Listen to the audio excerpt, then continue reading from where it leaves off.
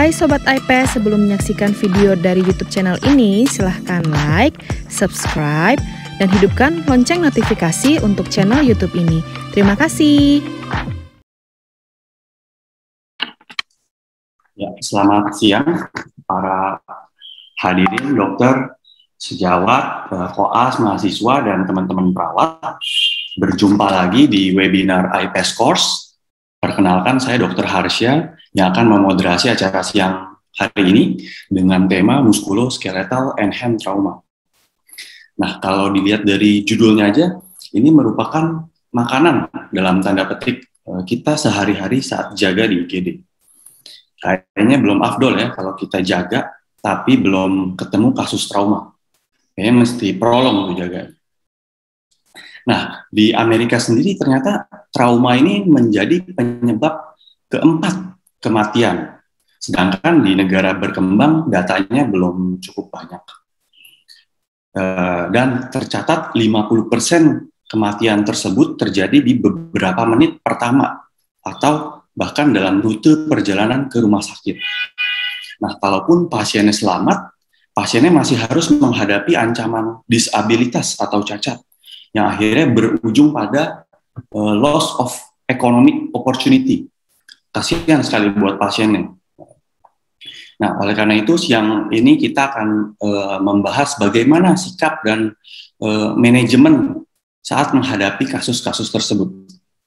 Nah, bersama kita telah hadir narasumber Dr. Oriza Satria, spesialis ortopedi dan traumatologi, konsultan hand and microsurgery. Selamat siang, Dr. Oriza. Halo, selamat siang, Dr. Harsha. Suara saya jelas ya? Jelas, dokter. Sehat, dokter? Ya, alhamdulillah sehat. Ya. Uh, Dokter Oriza ini berpraktek di Rumah Sakit Fatmawati, uh, Rumah Sakit Maya pada Lebak Bulus, dan Rumah Sakit Pondok Indah Bintaro Jaya. Saya juga ingin mengingatkan para peserta untuk menonaktifkan mic selama acara berlangsung, dan bila ada pertanyaan dapat ditulis di kolom chat. Ya, tanpa berlama-lama lagi, uh, kepada Dokter Oriza, saya persilakan. Oke, selamat selamat pagi Dokter Harsha. Terima kasih tadi introduction-nya. Ya emang ya itu apa namanya uh, kecelakaan atau trauma ini uh, banyak sekali di negara mana pun juga banyak, terutama di Indonesia yang orang-orangnya kayak gitu semua ya. Tahu ya suka lawan arah lah segala macem lah. Pakai helm ini banyak sekali. Di IGD juga banyak sekali. Yang kedukun juga banyak sekali gitu. Uh, sebelum ini mungkin saya mau ini dulu ya sebentar. Saya share screen dulu. Ya? Slide-nya hilang. Ini slide-nya agak banyak Gak apa-apa dok, kita santai minggu-minggu ini dok. Ya oke, ini udah udah kelihatan ya slide-nya ya? Iya dokter, sudah. Iya, jadi ini saya diminta untuk ngisi tentang dua materi, itu muskuloskeletal trauma dan hand trauma.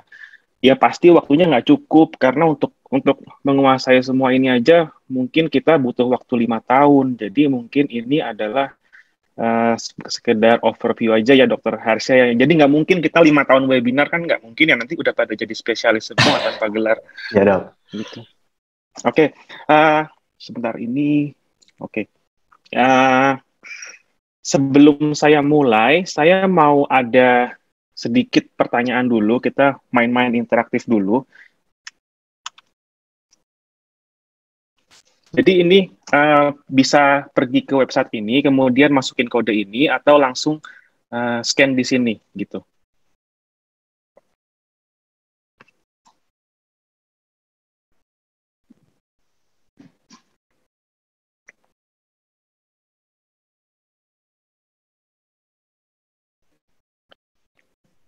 Udah ya? Oke dok, saya sedang masuk dok. Nah ini buat teman-teman nih ada tiga pertanyaan singkat nih dari websitenya. Cuman tiga, cepet kok isinya. Ada tiga pertanyaan, enggak, nggak lama-lama. Ya. Ini paling cuma butuh waktu sekitar tiga menit.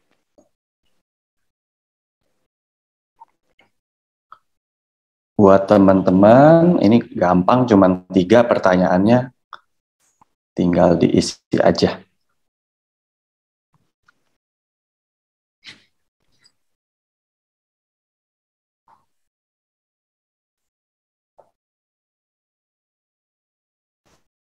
Dokter Harsha kasih tahu ya kalau sudah ya.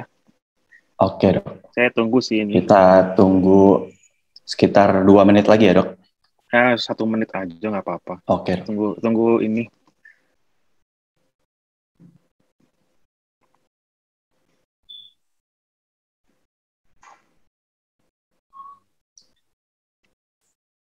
Oke, bagi teman-teman yang baru join, bisa ke websitenya dulu. Kita ada pretest singkat, cuma tiga soal doang. Atau scan nggak pretest QR juga code. sih, Ah, ini main-main ini doang sih sebenarnya. Dok. Jadi kan ini ada pertanyaan ya, ada tata laksa, eh, seberapa paham. Jadi takutnya nanti saya udah jelasin udah pada ngerti semua. Nanti ini lagi.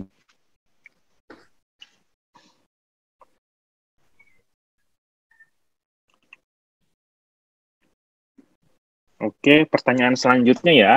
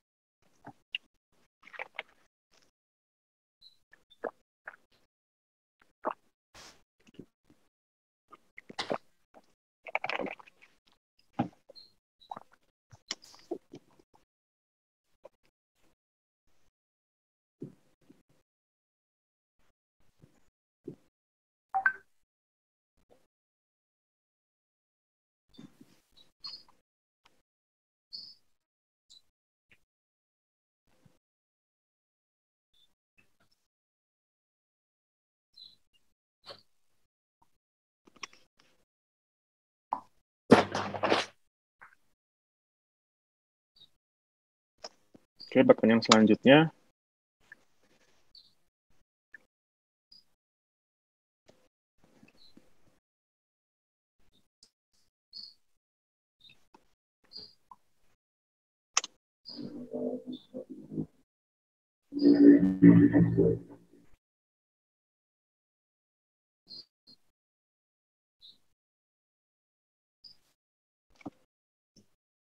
Yang berikutnya cuma isi nama ya dok. Iya, isi nama dulu. Oh ya.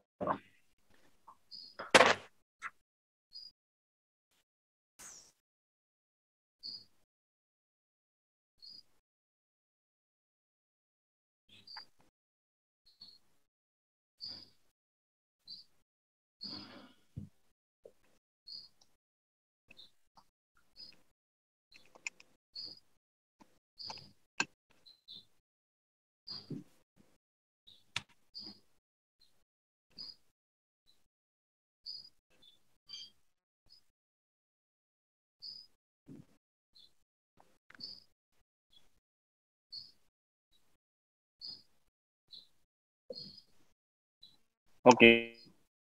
Sudah ya? Ya dok, sudah dok.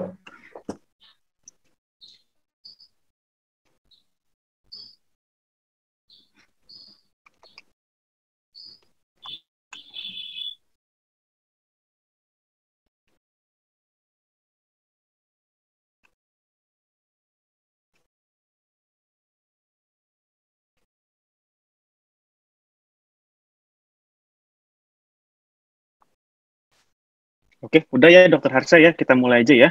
Siap dokter. Oke, bentar, bentar. Saya screen lagi.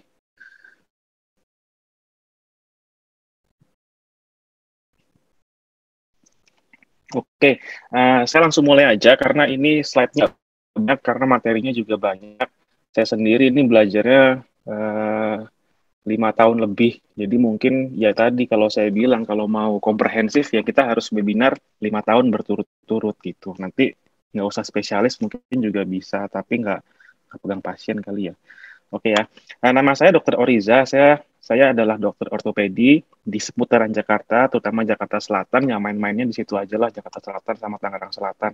Uh, saya subspesialis dari dari ini apa eh ini jalan nggak ya ininya?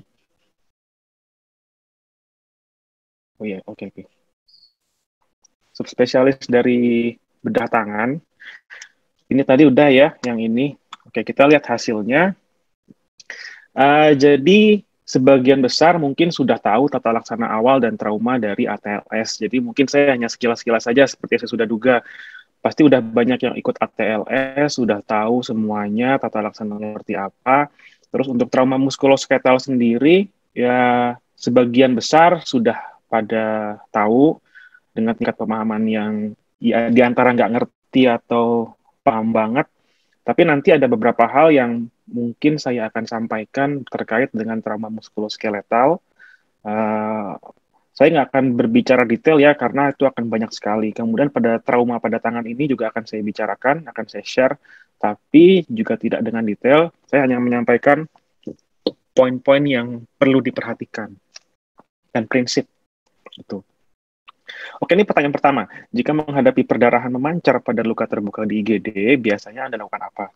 Uh, banyak yang menjawab batakan, ini nggak ada yang benar, nggak ada yang salah ya. Kita nanti akan lihat jawabannya uh, pada saat saya presentasi tentang masalah ini. Jadi memang sebagian besar uh, jawab bebat tekan, ada yang ligasi juga, ada yang jepit dengan klem juga, terus ada yang pasang turniket juga. Terus kemudian untuk pertanyaan kedua, sindroma kompartemen ini ya yang jawab benar juga banyak, yaitu nyeri, kemudian ada tense dan tegang pada kulit. Nanti saya akan bahas agak agak detail karena sindroma kompartemen ini uh, eh, GP dokter IGD uh, eh, bahkan mungkin koas itu harus tahu karena ini adalah suatu kegawat daruratan yang perlu penanganan urgent. Nah, uh, ini tadi dibilang bahwa road traffic itu uh, penyebab mortalitas yang salah satu yang utama. Jadi ini data saya dapatkan dari Amerika. Saya coba searching-searching di Eropa, di Indonesia, kemudian di negara-negara ASEAN lain ini uh, angkanya mirip mau di Eropa, Asia, uh, Afrika, di Wakanda semuanya mirip lah road traffic. Ini gambaran uh, kejadian kecelakaan di Indonesia yang sering kita temui mulai dari kecelakaan kereta, kemudian ini mobil ketabrak kereta dan orang kelindes itu juga banyak terutama kalau kayak gini-gini ini yang orang ketabrak truk atau kendaraan berat ini biasanya ada di daerah-daerah uh, daerah -daerah dengan volume kendaraan-kendaraan besar yang berat seperti di kalau di Jakarta itu di Jakarta Utara di dekat Tanjung Priok situ. Oke, yang ini yang perlu diperhatikan dari grafik ini adalah pada tiga jam pertama itu immediate deaths dan early deaths ini paling tinggi. Ini kita lihat grafiknya di sini. Jadi yang yang mau saya sampaikan di sini uh, adalah selama tiga jam pertama ini atau empat jam pertama ini sebelum 6 jam lah pokoknya. Itu adalah saat-saat kritis pada pasien yang mem, uh, pada kasus-kasus trauma, terutama trauma berat, yang memerlukan tata laksana yang tepat untuk menghindari kematian yang immediate atau kematian yang segera. Nah ini sering kali kita menemukan bahwa pada kasus-kasus seperti ini, luka terbuka yang besar seperti ini, kemudian ada kaki kita lihat bengkok begini, terus tangan teriris begini dengan kita lihat ronsen seperti ini, itu sering kali mendistract uh, tim dari IGD, mau itu dokter, mau itu perawat, bahkan mungkin spesialisnya, itu nggak memperhatikan hal yang lebih penting uh, pasien, yaitu ATLS, prinsip-prinsip ATLS. Jadi sering kali saya temui bahwa, nggak sering sih ya, agak jarang, ya lumayan lah. Uh, ini ada pasien luka terbuka kayak gini, terus heboh, yang diurusin kakinya aja. Kemudian yang ini bengkok, udah pada heboh duluan yang bengkok ini mesti diapain, diapain bengkok. Terus ada tangan keiris gini, ada darah memancar di sini. Terus heboh juga tanpa memperhatikan uh, prinsip-prinsip penanganan ATLS. Jadi pada prinsipnya adalah life before limb. Jadi kalau kita melihat uh, seperti ini, kita harus pikirkan dulu uh, apakah pasien itu nyawanya terancam atau tidak. Gitu.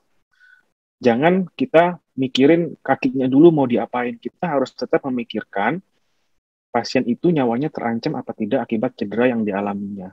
Gitu. Jadi kadang-kadang uh, kita kan tahu ada airway, breathing, circulation. Airway itu yang paling utama. Jadi ya itu nggak apa-apa. Kita harus pastikan airway-nya pada pasien-pasien tadi, terutama pasien yang berpotensi untuk mendistract tadi, itu harus uh, bebas airway-nya dulu. Kemudian breathing, circulation, dan dan sesuai dengan ATLS. Jadi tidak apa-apa kalau pasien itu berdarah-darah uh, atau kakinya bentuknya nggak karuan, tapi selama dia bisa bernafas dan jantungnya bekerja, jantung dan parunya bekerja dengan baik, Uh, itu adalah hal yang kita inginkan dari tata laksana pada pasien ini. Jadi life before limb, jangan limb before life, jangan kebalik. Jadi yang penting adalah pada kasus-kasus trauma, terutama pada trauma uh, muskuloskeletal adalah primary survey resuscitation. Jadi kalau kita menemukan kasus seperti fraktur nih, misalkan kasus pada fraktur femur begini, kita jangan cuma pikirkan fraktur femurnya, kita harus tetap pikirkan airway, breathing, circulation, disability, dan exposure. Kalau airway itu harus dilakukan si spine control. Artinya apa? Kalau kita uh, cuma memperhatikan airway, kemudian kita melakukan manuver misalnya uh, health tilt chin lift, padahal pasiennya itu kita tidak tahu apakah ada cedera servikal apa enggak. Nah, kalau kita lakukan head chin lift, itu akan membahayakan um, membahayakan airway dari pasiennya karena akan sangat beresiko medula spinalis atau saraf yang di leher itu cedera. Kalau cedera, maka bisa terjadi gagal nafas pada pasien itu. Jadi yang penting adalah airway dan si spine control. Kalau misalkan pasiennya itu kita curiga ada cedera cervical, ya maka harus dilakukan uh, jaw thrust untuk mengamankan lehernya atau metode lain lah yang supaya uh, aman. Kemudian breathing, circulation termasuk control of hemorrhage. Di sini kita lihat ini di paha ini kita pasang tourniquet gitu jadi memang tadi dari pertanyaan tadi saya tanyakan kenapa jadi ada yang di uh, ligasi, kemudian ada yang diklaim, terus ada yang dibebat tekan. Memang standarnya paling uh, paling umum dilakukan adalah bebat tekan. Itu yang paling simpel dan paling aman. Kemudian kalau ada tourniquet kita bisa pasang di sini untuk menghentikan perdarahan gitu. Terus untuk dua lagi yang ligasi dan klem itu bisa saja dilakukan, tapi nanti akan saya jelaskan kenapa sebaiknya uh, dua hal tadi perlu diperhatikan dan dipertimbangkan jika memang harus dilakukan. Oke, yang bleeding control tadi, direct pressure, ini splinting tujuannya untuk me menstabilkan ekstremitas. Misalnya ada patahan yang tajam, kemudian dia eh, goyang-goyang uh, dan pembuluh darahnya itu menjadi menjadi rentan robek, atau tertusuk fragmennya, maka kita lakukan splinting untuk mengimobilisasi agar tidak terjadi cedera lanjutan. Ya tentu kalau misalnya ada perdarahan banyak harus dipertimbangkan juga blood resuscitation. Kita pada tahu semua lah ya. Ini untuk secondary survey, ya ample kita setelah uh, primary survey-nya itu aman, kita pastikan aman, tidak ada apa-apa, baru kita boleh ke secondary survey ya ditanya ample-nya seperti apa. Itu alergi, medication, ini udah pada tahu semua pasti ya untuk ATLS. Untuk secondary survey pada ortopedi, itu kita harus lihat look dulu kita ini status yang umum dijumpai maksudnya status yang umum kita gunakan pada status ortopedi yaitu look deformitas. Kita lihat ini jarinya seperti ini. Kemudian ada satu hal yang uh, tidak disebutkan atau tidak pernah disebutkan di buku yaitu deep bruise yaitu bruise yang letaknya dalam yaitu bruise yang samar terutama pada pasien-pasien trauma dengan kondisi deformitas seperti ini. Jadi bruise itu ada dua, ada superficial bruise, ada deep bruise. Kalau superficial bruise itu jelas uh, ininya cederanya itu ada di bawah kulit dan bruise itu kan disebabkan oleh pecahnya kapiler pembuluh darah yang menyebabkan darahnya itu keluar sehingga terjadi bruise di bawah kulit. Tapi kalau deep bruise ini, contohnya pada kasus ini, ini biasanya diakibatkan oleh luka yang lebih dalam kan kalau uh, strukturnya dari luar itu kan ada kulit, kemudian ada uh, soft tissue, tendon, otot, dan di bawahnya baru tulang. Kalau terjadi bruise seperti ini, kalau diperhatikan, ini ada bruise samar di sini. Hmm. Ini berarti perdarahannya dalam. Kalau perdarahan dalam ini gini, kemungkinan memang dari struktur yang dalam yaitu tulang di sini. Jadi pada pasien ini kita perlu curigai adanya fraktur pada tulang itu. Terutama pada pasien-pasien yang cederanya tidak direct impact. Kalau direct impact artinya misalkan dia tangannya itu terbentur benda keras gitu langsung ada bruise-nya yang bentuknya superficial atau bahkan luka robek pada daerah yang terkena itu wajar. Cuma kalau ini dia jatuh dengan posisi tangan posisi jari itu terlebih dahulu ke bawah jadinya indirect impact kalau menurut ortopedi ini indirect injury dan patah di sini gitu ini ada ada bruise kalau diperhatikan beda misalkan dengan ini kalau deformity seperti ini ini jelas uh, jelas kelihatan ya kayak gini apalagi yang kayak gini gitu terus untuk feel kita perlu lihat hmm, terutama pulsasinya, kemudian perfusinya, dan defisit neurologisnya. Dan ini move, tapi uh, move ini tidak kita uh, tidak selalu kita lakukan. Karena apa? Karena pada prinsipnya adalah do no harm. Jadi pada pasien-pasien kayak gini atau kayak gini yang udah jelas datang ke IGD dengan kesakitan, uh, kalau jelas dia datang dengan deformitas kayak gini atau kayak gini, itu itu jangan melakukan move yang akan uh, kalau bisa ya jangan melakukan move yang akan mengakibatkan pasien itu kesakitan atau cedera lebih parah. Gitu. Jadi kita pada prinsipnya adalah do no harm, jangan melakukan manuver apa pun yang berpotensi untuk menyebabkan pasien itu cederanya bertambah. Gitu. Jadi cukup look and feel saja. Untuk move-nya ditulis uh, ya biasanya tidak dilakukan ya tulis saja tidak tidak dilakukan karena pasiennya kesakitan gitu. oke okay.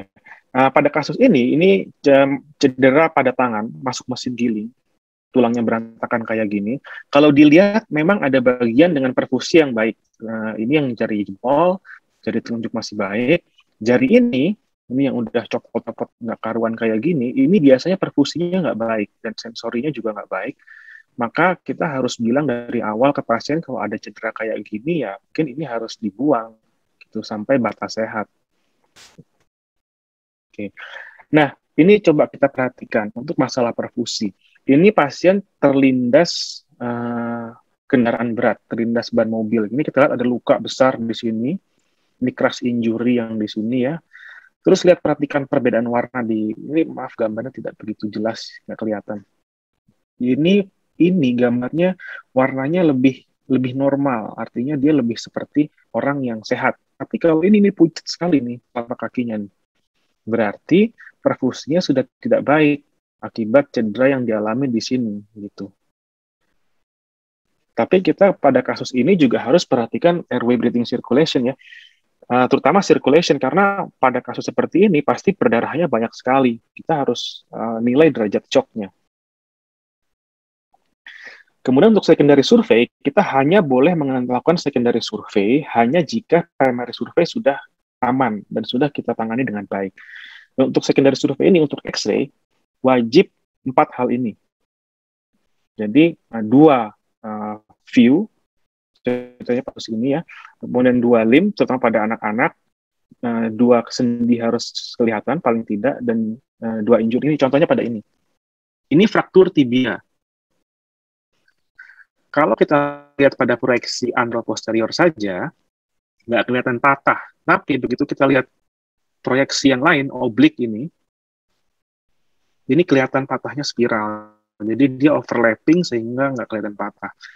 Nah, kemudian ini, fraktur scaphoid, ini paling sering sekali miss ya kalau di bidang hand surgery. Jadi nggak kelihatan apa-apa. Oh aman nih, nggak apa-apa. Ternyata pas kita ambil proyeksi lain, ini kelihatan patah. Nah, terus contohnya seperti yang ini, ini sendinya nggak kelihatan dua. Jadi kita berpikir hanya patahnya di uh, sepertiga medial ulna. Tapi setelah kita lakukan dua join, dua sendi, ini ada dislokasi dari radial head yang di sini. Ini pada anak-anak. Kalau ada anak-anak, harus dilakukan dua view atau dua dua ekstremitas kanan dan kiri karena karena pada anak-anak itu ada lempeng pertumbuhan yang tampak lusen di radiograf.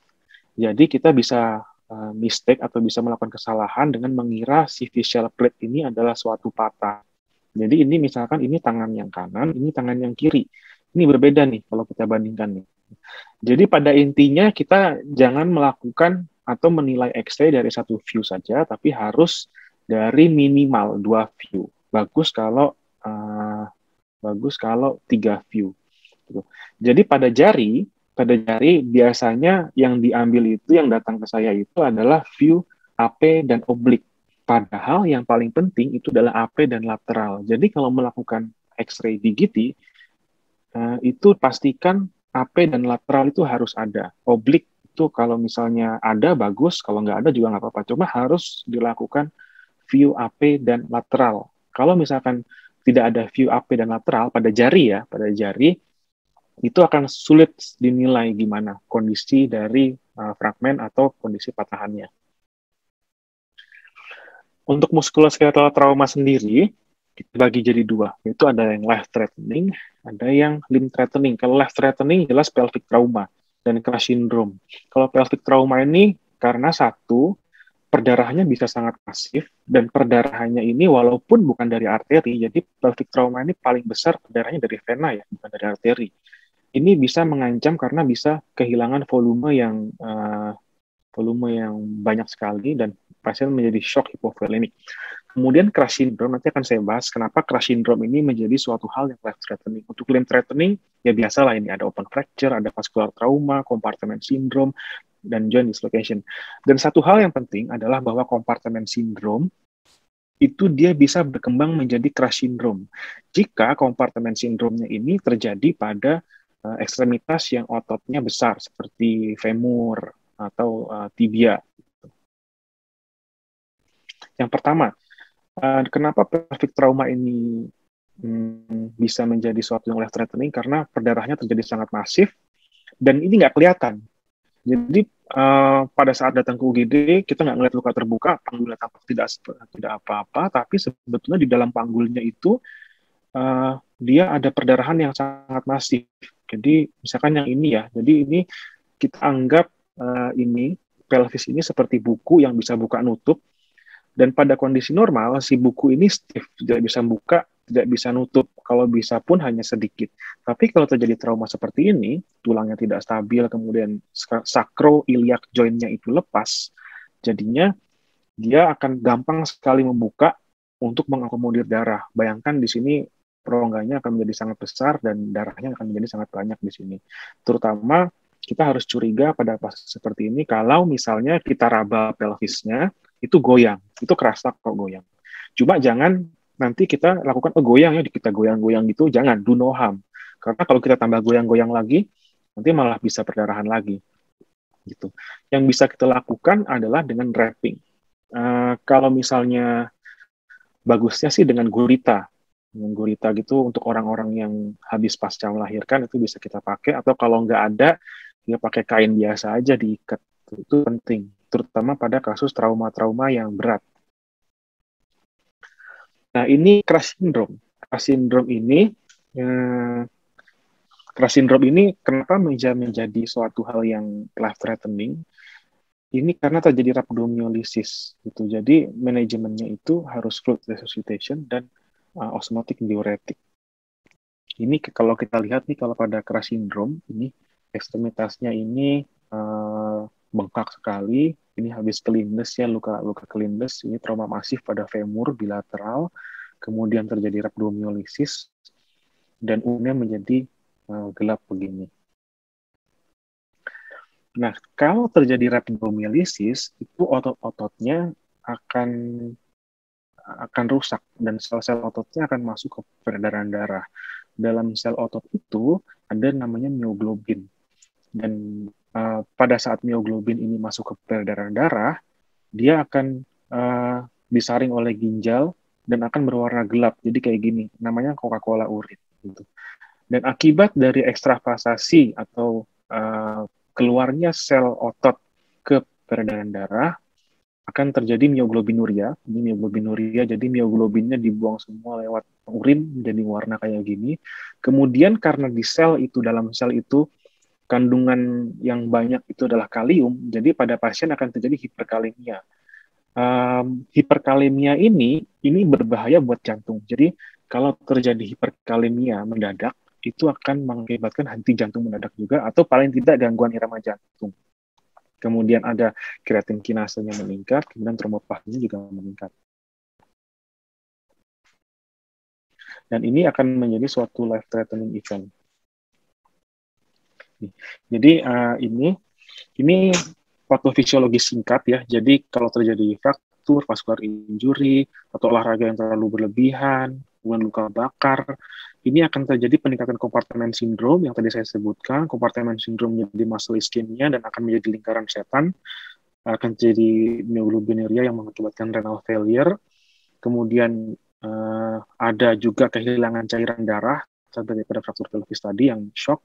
Dan kalau terjadi hiperkalemia, ya jadi kardiak arit, uh, aritmia gitu. Jadi ini uh, kompartemen sindrom pun bisa menjadi life threatening uh, event bukan hanya limb threatening saja, tapi bisa menjadi life threatening kalau dia ber, berkembang menjadi suatu crash syndrome.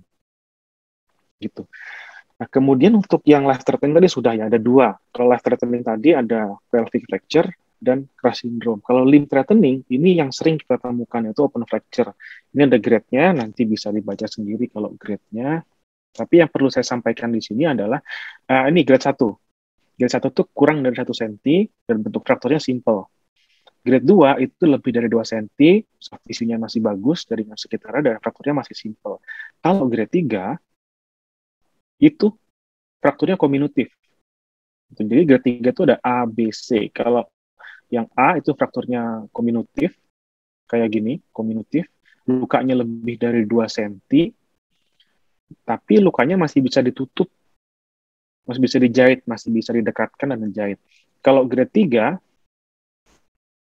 ini lukanya besar begini, tidak bisa diaproksimasi, tidak bisa dijahit, kemudian uh, patahnya kominutif. Kalau grade 3C, ini adalah disertai dengan cedera pembuluh darah. Gitu.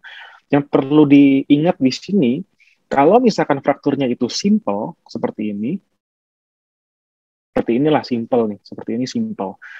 Terus kemudian uh, kakinya pucat kayak tadi, terus ada gangguan, uh, misalkan ada perdarahan memancar gitu ya, bukan rembes, kalau rembes sih wajar kalau fraktur bukan rembes, tapi ada perdarahan memancar yang sulit dihentikan, itu langsung masuk grade 3, tanpa memperhatikan uh, lebar lukanya, itu langsung masuk 3. Kemudian yang gunshot atau luka tembak, tanpa memperhatikan uh, lebar lukanya berapa. Jadi gunshot itu kan lukanya kan biasanya kecil luka masuknya, luka keluarnya ke uh, besar.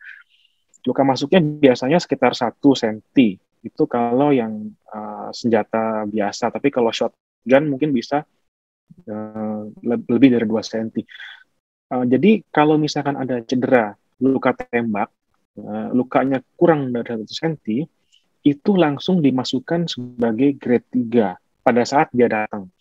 Nah, nanti kalau misalkan setelah operasi, uh, lukanya ternyata nekrosis yang di sini, dan harus butuh uh, eksisi yang besar atau dibuang lukanya yang, yang yang nekrosis tadi itu harus besar dan lukanya nggak bisa ditutup langsung masuk grade uh, 3B gitu. Nah tapi kalau ada luka kayak gini, luka tembak kayak gini, terus habis itu uh, perfusi distalnya jelek. Misalkan luka ini kan tertembak di siku kemudian jarinya jadi pucat atau jadi nggak dapat aliran darah itu langsung masuk grade 3C tanpa memperhatikan lebar luka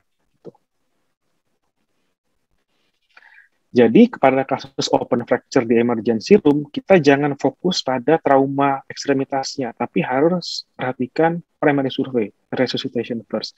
Yang perlu dilakukan setelah uh, ini setelah apa, primary survey selesai, kita harus simultan kalau bisa. Jadi ada tim yang secondary survey, ada tim primary survey. Jadi uh, terapi yang harus dilakukan pada pasien dengan open fracture, antibiotik itu wajib karena pada pasien open fracture resiko infeksinya sangat besar. Jadi antibiotik itu wajib dimasukkan. Uh, Kemudian uh, luka ini harus dibersihkan. Kemudian harus dipasang spalak sebelum di ronsen dipasang spalak dulu kalau bisa. Jangan jangan uh, pasien datang kelihatan bengkok-bengkok kakinya atau ke mana-mana gitu ya muter ke mana-mana ronsen dulu baru di baru di spalak jangan karena prinsipnya adalah dunoham. Kalau kita misalnya melakukan pasien datang ke UGD langsung kita ronsen kan pasien harus pindah posisi kan. At least kakinya harus diangkat-angkat untuk masukin filmnya. Nah itu juga termasuk do harm sebenarnya karena kita belum menstabilkan patahnya, terus kemudian kakinya diangkat-angkat uh, dengan resiko bahwa akan mencederai lebih lanjut struktur di sekitarnya seperti pembuluh darah atau saraf gitu. Terus kemudian yang kedua itu cedera pembuluh darah dan traumatik amputasi gitu. Uh, harus ditanyakan juga sejarah ya sejarah lagi apa namanya anamnesanya seperti apa kemudian tata laksana awalnya sebelum datang ke UGD kayak gimana dan ini cederanya itu keras atau sharp. Nah nanti untuk kasus ini, ini akan akan saya bahas lebih lanjut pada trauma pada tangan. Jadi nggak sekarang, sabar. Kemudian yang ketiga kompartemen sindrom. Jadi kalau kompartemen sindrom itu memang gejalanya yang paling menonjol itu adalah uh, pain out of proportion. Kemudian maksudnya apa pain of out of proportion? Jadi nyerinya itu nggak wajar. Jadi kalau misalkan nyeri kita kebentur atau uh, patah tulang biasa itu ya nyeri, nyeri. Cuma kalau pain out of proportion itu nyerinya itu fasenya tuh minimal 9 10. Itu. Itu kita perlu perhatikan. Tapi uh, kita harus lihat juga ada lima tanda klasik ini, pain, pallor, paresthesia, paralysis dan paralisis gitu. Dan treatmentnya ya ini decompression by open fasciotomy. Saya akan tentang si ini uh, kompas sindrom ini sedikit patofisiologinya.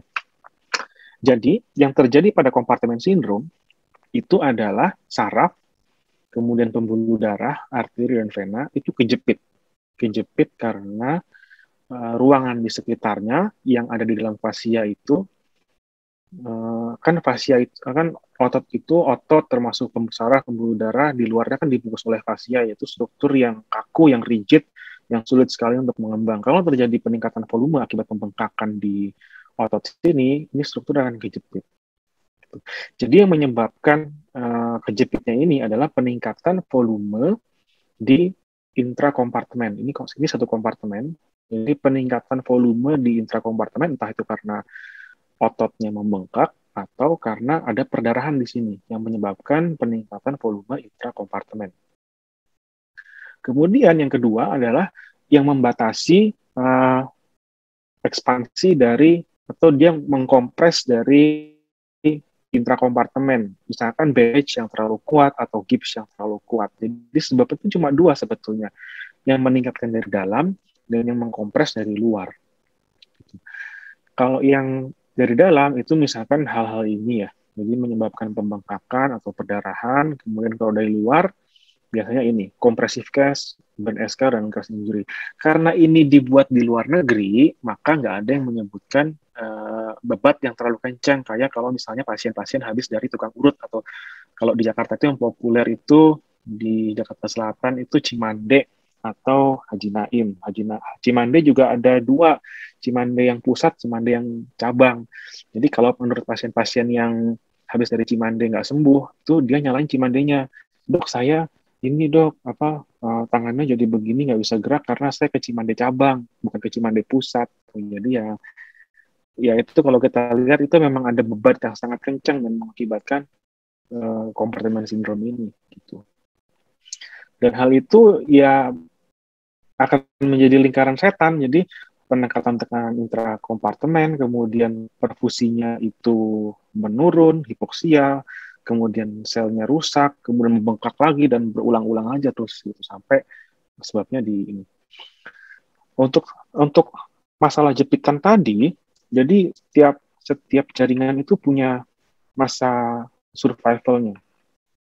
Jadi kalau misalnya dia itu sudah lebih dari 8 jam kita biarkan, sejak mulai onset maka akan terjadi reversible damage. Jadi ototnya mulai rusak dan akan terjadi uh, crash syndrome tadi.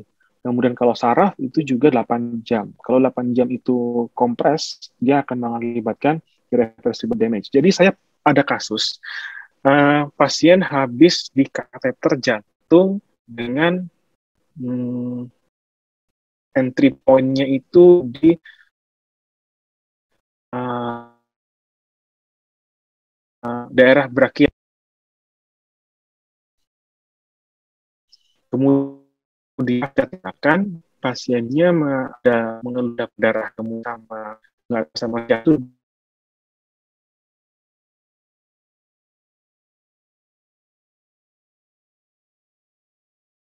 terus katanya pasiennya itu dipasang berapa jam? 24 jam katanya. Dan sekarang pasiennya itu mengeluh uh, carpal tunnel syndrome. Jadi jadi ada gejala keluhan hmm, hipestesi nervus medianus persis seperti gejala carpal tunnel, cuma lebih berat dan pas di EMG hasilnya grade 6 gitu. Itu gejalanya carpal tunnel berat gitu. Nah, setelah saya lakukan operasi rilis, ya ternyata betul banyak fibrosisnya di sekitar saraf itu, sarafnya jadi gepeng dan kalau ketemu kasus kayak gitu, sebaiknya jangan bilang kalau udah oh, setelah dioperasi akan sembuh. Enggak, karena kita harus ingat kalau 8 jam itu saraf itu at least sudah ada bagian yang mengalami irreversible damage gitu. Kalau otot 8 jam irreversible damage itu konsekuensinya adalah kontraktur. Jadi pernah dengar yang namanya Cockman kontraktur kan. Nah, itu diakibatkan karena kompresi pada saraf yang lebih dari 8 jam atau kerusakan yang lebih dari 8 jam akibatnya serabut serabut ototnya itu diganti oleh jaringan fibrotik, jaringan parut yang menyebabkan tidak fungsional, makanya dia menjadi kontraktur. Gitu. Ini banyak sekali kasus-kasus Volkmann kontraktur pada pasien-pasien fraktur forearm yang dikerjakan oleh uh, tukang urut. Jadi dia kompartemen, terus, terus dibiarin terus-menerus, akibatnya jadi Volkmann contracture. Nah, simptomnya yang paling penting adalah satu, ini pain of, out of proportion. Jadi nyerinya itu adalah passive stretch. Jadi pada pas, saat pasien yang mengeluh nyeri, coba kita melakukan stretching pada jarinya, ujung ujung distal jarinya. Kalau dia jeri, jeritan kesakitan sekali, itu apalagi dengan ditambah uh, tense extremity ini, itu kemungkinan besar adalah gejala awal dari kompartemen sindrom gitu. Yang lain ya parestesia, paralisis, pallor, dan pushlessness. Tahu cuma ini uh, kita tidak boleh, saya ingatkan lagi, kita tidak boleh menunggu gejala lima klasik ini atau enam ini sampai timbul semua. Ini cara melakukan ini ya, uh, stretching. Terus yang ini cara melakukan stretching ini ini nanti dilihat sendiri aja. Kemudian, nah ini, jadi gejala awal yang muncul itu adalah pain dan tense.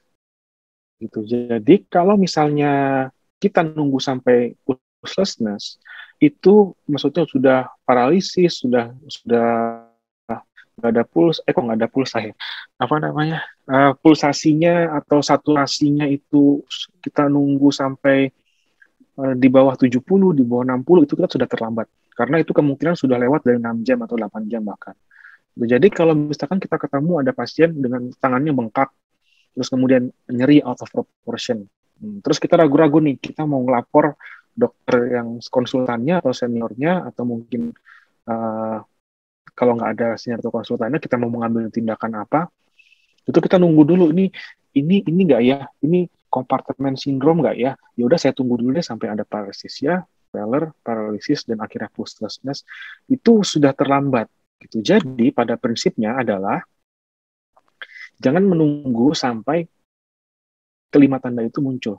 Yang harus kita perhatikan betul-betul adalah pain out of proportion, terutama pada nyeri stretch, dan kemudian yang tadi, yang tense on extremity. Jadi, yang paling penting pada kompartemen sindrom ini adalah dia itu uh, butuh penanganan yang sangat segera dengan fasiotomi. Ini yang saya bilang. Jadi ini yang kiri, ini yang kanan. Ini jadi kalau uh, tes extremity ini kelihatan bengkak terus mengkilat gitu. kayak gini. Apalagi kalau pen on passive stretch-nya, kita stretch ke arah sini, atau tibialis anterior yang di sini, itu kesakitan sekali. Jadi ini kompartemen sindrom, nggak perlu ditunggu lagi.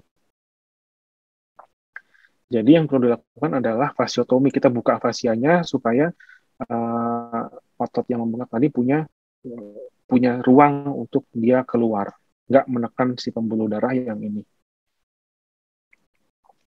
Ini contoh fasiotomi pada tangan. Ini. Jadi begitu kita buka itu, kalau fasiotomi itu kelihatan sekali ototnya itu menyembul langsung keluar gitu, kayak mau meledak. Kita harus buka lebar kayak gini, jangan kecil-kecil. Nah, fasiotomi ini itu uh, memang pada saat kita buka itu ototnya akan membesar sekali dan nggak bisa ditutup. Itu memang kita harapkan. Jadi kita yang bisa kita lakukan adalah pasang seperti ini. Jadi nanti kita observasi di ruangan, kalau sudah mulai uh, bengkaknya menurun, bisa kita kencangkan ini pelan-pelan dan akhirnya nutup. Gitu. Jadi nggak boleh pas kita habis operasi, kemudian kita berusaha untuk nutup lagi, itu nggak boleh. Kemudian yang keempat itu adalah ini joint dislocation. Ya ini sering lah ya, ini kalau dislokasi uh, elbow, terus ini shoulder dislocation sering kayak gini, dan hip dislocation ini kayak gini. Nah, untuk dislokasi ini, ini adalah suatu emergency dalam ortopedi. Jadi kalau ketemu kasus hip dislokasi seperti ini, sebaiknya jangan ditunda, segera dilakukan reduksi. Ini contohnya reduksi pada bahu. Kalau nggak yakin bisa reduksi seperti ini, lihat YouTube aja. Ini juga ada kok caranya di YouTube. Jadi nggak perlu nggak perlu bingung kalau misalkan nggak ada apa konsultannya yang bisa datang cepat. Mm, minta izin aja boleh saya reduksi apa enggak gitu. Kalau boleh ya uh, lihat di YouTube aja caranya banyak sebetulnya kayak gini. Tapi harus tahu dulu harus dipastikan dulu kalau itu memang apa dislokasi. Biasanya keliru terutama pada yang ini nih pada yang hip. Biasanya kalau shortening kayak gini itu ada frakturnya di sini gitu. Atau fraktur yang ini yang paling sering ini adalah ini humerus dislokasinya. Biasanya ada patah di sini di bagian proksimalnya. Ini terutama pada pasien-pasien yang sudah tua atau porotik gitu. Oke sampai sini dulu. Ada pertanyaan nggak sebelum saya masuk ke selanjutnya? Biar biar saya minum dulu biar mulutnya nggak berbusa. Ya silakan bagi teman-teman dokter atau mahasiswa atau perawat yang ingin bertanya bisa tulis di kolom chat atau langsung aja unmute.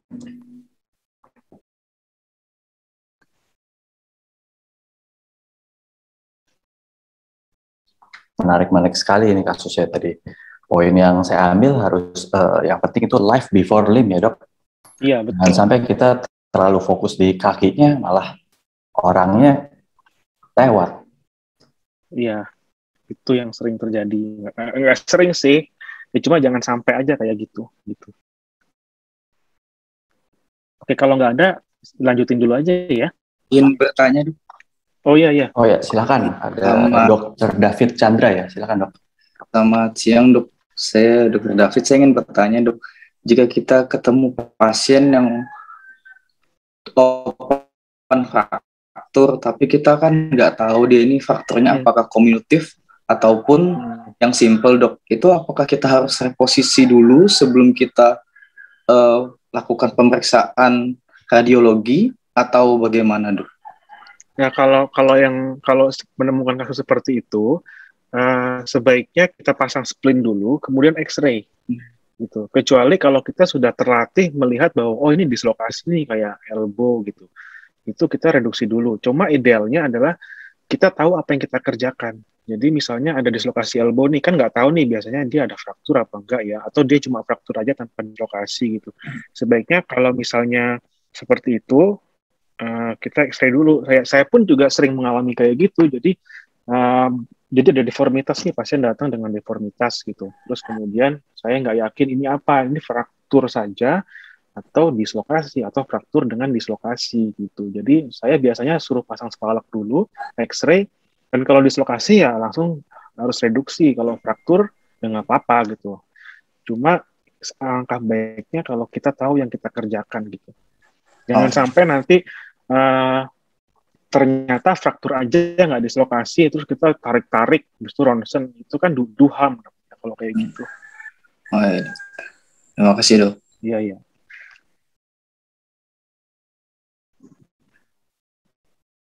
Ya, terima kasih Dokter Chandra atas pertanyaannya.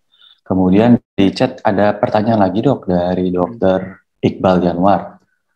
Punten dokter izin tanya pada pasien dengan pemasangan torniket pada open fracture, berarti baiknya dilepas dok selama kurang dari 8 jam tersebut.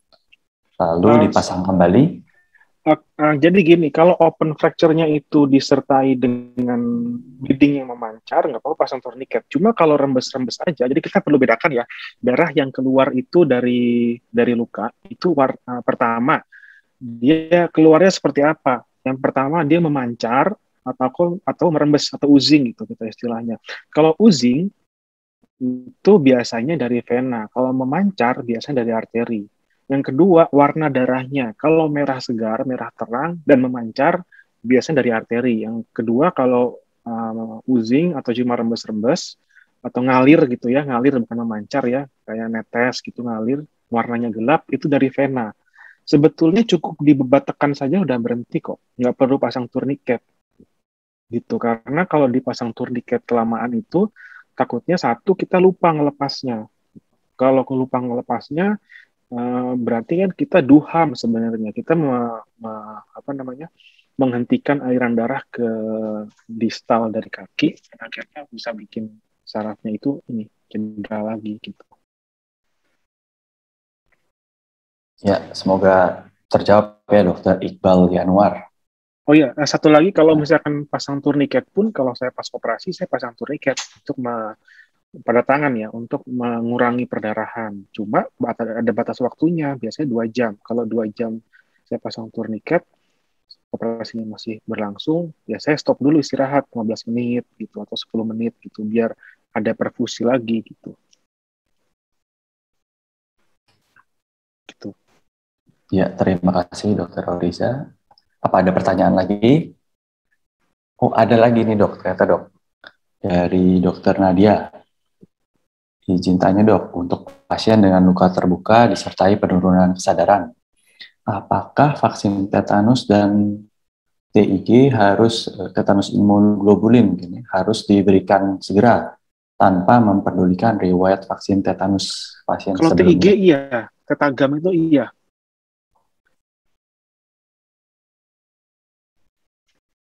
Karena nanti jangan jangan pas penurunan kesadaran Taunya besoknya kejang trismus ada ada ini ada ada tetanus. Karena saya pernah dapat pasien yang dari tukang urut lukanya satu senti. Kemudian dia datang ke UGD luka terbuka ya.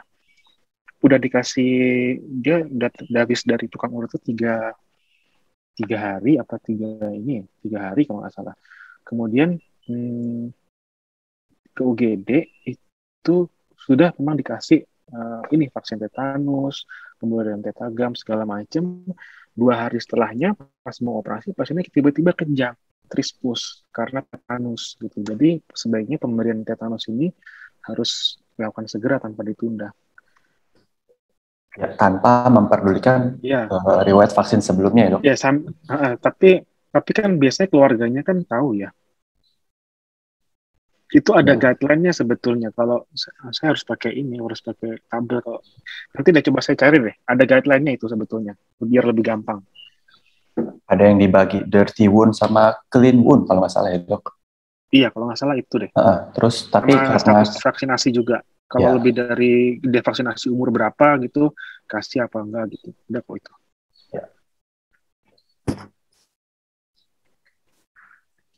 Oke, ada lagi pertanyaan sebelum kita masuk ke topik berikutnya yaitu hand trauma.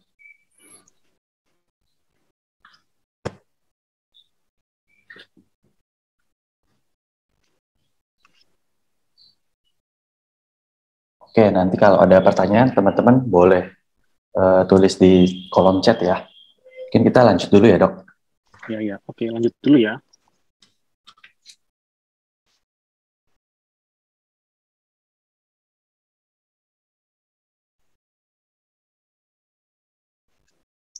eh sebentar ya ini koneksinya nggak stabil. Saya saya ganti wifi. Saya ganti wifi dulu sebentar. Baik dok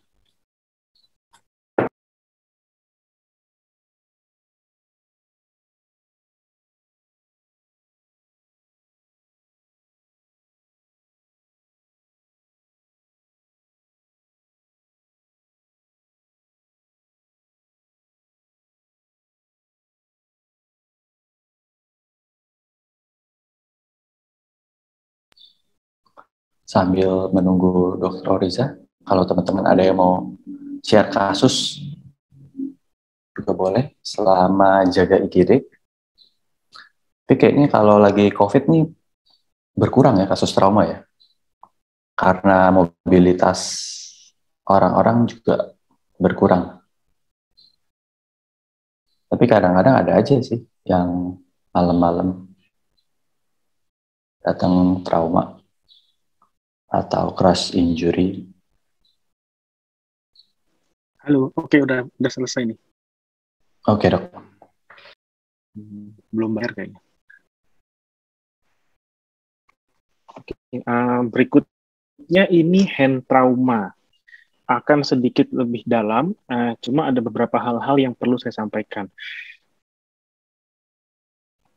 Oke, jadi kalau hand trauma ini kita harus uh, perhatikan bahwa tangan itu uh, terdiri dari tulang, kemudian di atas ada tendon, saraf, otot, terus pembuluh darah juga ada. Jadi spektrum cedera dari tangan itu bisa hanya contusion saja, misalkan kebentur atau kukunya uh, kejepit pintu gitu.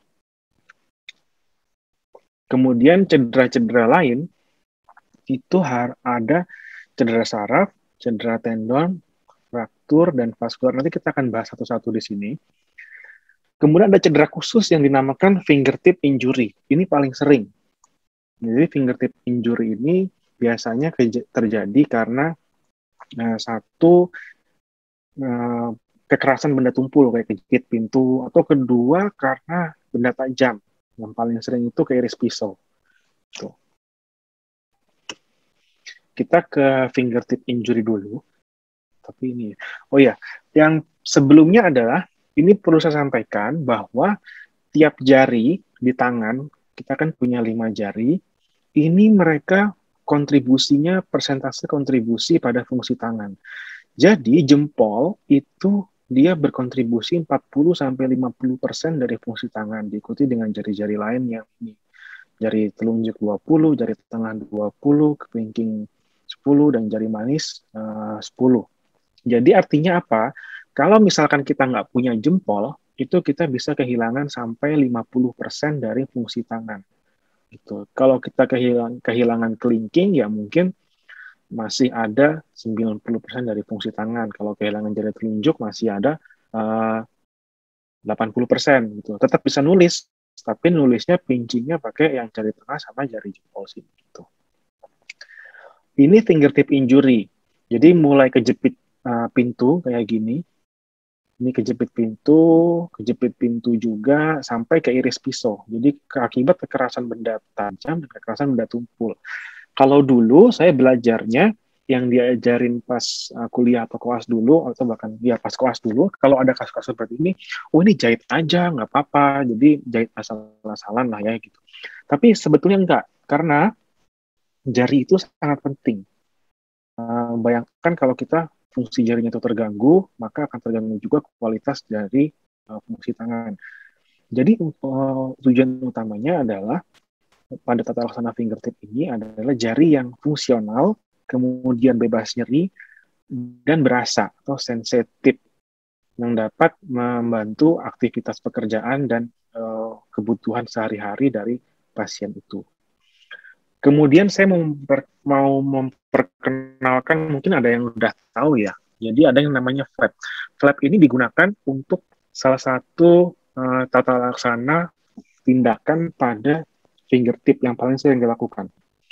Jadi flap itu adalah seperti ini. Jadi suatu unit dari jaringan, bisa itu kulit, otot, lemak, atau kombinasi semuanya, yang dipindahkan dari satu tempat ke tempat lain dengan mempertahankan uh, aliran darahnya. Jadi misalkan ini, ini dia aliran darahnya di sini. Nah, ini ada jaringan yang kita pindahkan.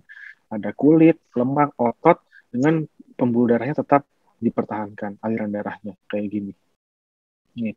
Jadi tipenya macam-macam. Ya nanti kalau uh, iseng-iseng mau belajar boleh, atau kalau masuk ortopedi pasti akan mengerjakan kasus-kasus seperti ini juga, terutama yang kalau stase di hand akan banyak seperti ini, terutama fingertip ini banyak sekali. Nah, contohnya ini. Ini kasus yang tadi, yang uh, keiris pisau. Ini bukan keiris pisau, ini ini kalau nggak salah kenapa ya kejepit pintu ya kejepit pintu lalu kita lakukan VY flap jadi kita lihat ini jaringan yang saya pindahkan ke atas untuk menutup ini jadi dari daerah palmar sisi palmar tangan ini lihat ada pembuluh darahnya warna merah nih jadi saya pindahkan kulit dan jaringan lemak untuk menutup bagian ini dengan mempertahankan aliran darah ini pembuluh darahnya tetap terkoneksi. Jadi jadi kayak gini. Dan keuntungannya adalah bagian yang saya pindahkan ini, ini mendapat saraf, persarafan. Kalau kita lihat di sini lebih detail lagi, ini ada saraf dan pembuluh darah. Jadi ini uh, hasil akhirnya fungsional dan pain free karena uh, tulangnya tertutup oleh ini dan sensate. Sensate karena masih bisa ada uh, sensoriknya di sini. Jadi pasiennya masih bisa ngeraba pakai tangannya gitu, nggak sakit juga karena tulangnya tercover sama kulit. Kemudian yang tadi, yang kasus yang tadi ini, ini kayak iris pisau, uh, ini flap yang lebih advance. Jadi kulitnya yang ada sehat sini, ini dipindahin ke sisi yang sakit untuk menutup sini. Ini kita lihat masih ada pembuluh darahnya di sini, kita pindahkan kulit kulit dan lemaknya terus untuk tutup sini. Jadinya begini. Jadi ini masih ada sarafnya. Jadi pasiennya ini masih sensate kemudian pain free karena tulangnya tertutup uh, dan fungsional karena masih bisa meraba dengan tangannya untuk gerakan pincing terutama. Gitu nah ini yang perlu diperhatikan dari fraktur pada tangan ini kita masuk ke fraktur jadi kan kita sudah bahas fingertip sekarang pada fraktur musuh terbesar pada penanganan fraktur pada tangan itu adalah stiffness atau kaku. Jadi, kita harus cari uh, time frame atau waktu yang pas. Kita gabungkan dengan ini ada hubungannya sama penyembuhan tulang gitu. Jadi uh, pada kasus-kasus uh, tangan itu kalau dia diimobilisasi selama empat minggu itu pasti kaku semua tangannya. Tapi kalau kurang dari tiga minggu itu nggak kaku. Tapi masalahnya adalah hard callus formation ini baru terbentuk pada minggu ketiga dan minggu keenam. Sebelum minggu ketiga ini masih soft callus. Artinya apa? Kalau misalkan ada fraktur di tangan, kemudian kita lakukan imobilisasi, terus uh, seberapa lama saya harus uh, ini harus lepas imobilisasinya atau dalam berada dalam gips gitu. Jawabannya adalah kita harus menemukan waktu. Jadi ini bargaining antara stiffness dengan hard callus formation waktu yang pas adalah 3 sampai 4 minggu. Karena kalau kita lepas fiksasinya sebelum tiga minggu, ini masih masih terbentuk soft callus yang artinya tidak stabil, ya relatif tidak stabil. Jadi frakturnya masih bisa goyang-goyang, masih bisa berubah posisi gitu. Tapi kalau kita baru baru lepas, oh tunggu Union, tunggu uh, X-ray-nya ini nggak ada garis patahnya lagi. Itu butuh waktu tiga bulan sampai enam bulan. Pada saat itu sudah kaku. Jadi waktu yang time frame yang tepat adalah kita uh, di empat minggu tiga sampai empat minggu ini gitu.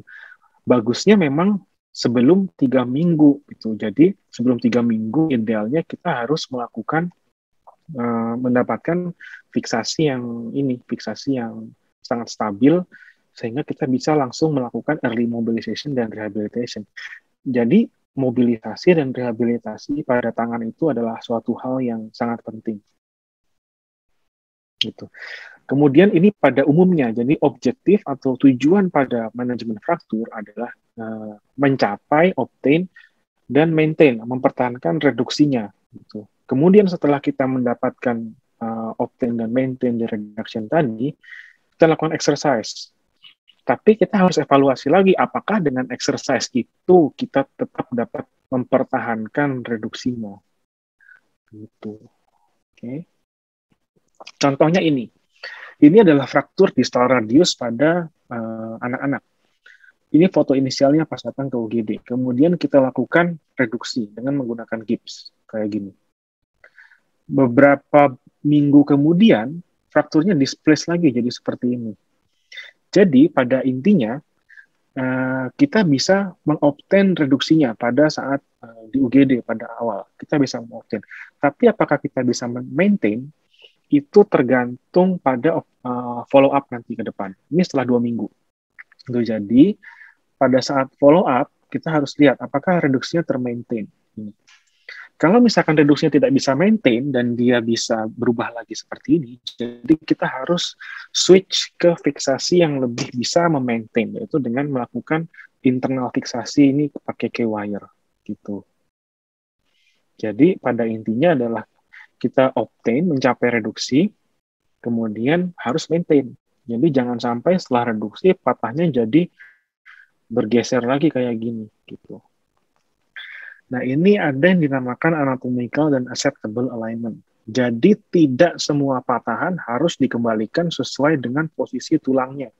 Sesuai dengan posisi anatomis, misalnya bentuk tibia seperti itu, kemudian patah di seperti tengahnya, kita harus kembalikan seperti itu. Enggak. Uh, ini yang dimaksud dengan deformitas. gitu. Jadi ada ada angulasi, kemudian rotasi, kemudian shortening atau lengthening atau distraksi seperti ini.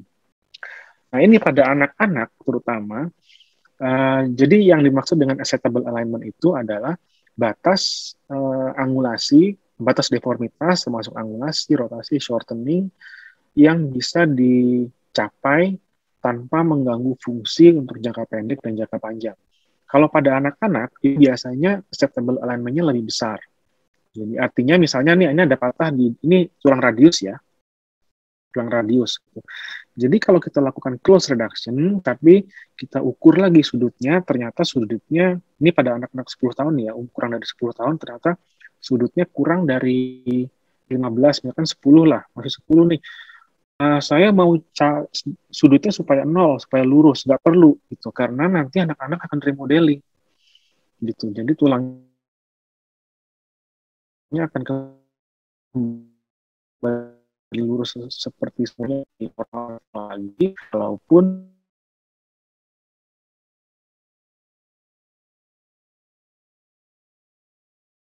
jadi ini berkurang dari 15 derajat ke 10 derajat. Kita tadi reduksi pada anak-anak umur 12 tahun. Kemudian reduksi ulang karena acceptable angulasinya ya 10 derajat kayak gitu. Nah ini unacceptable alignment.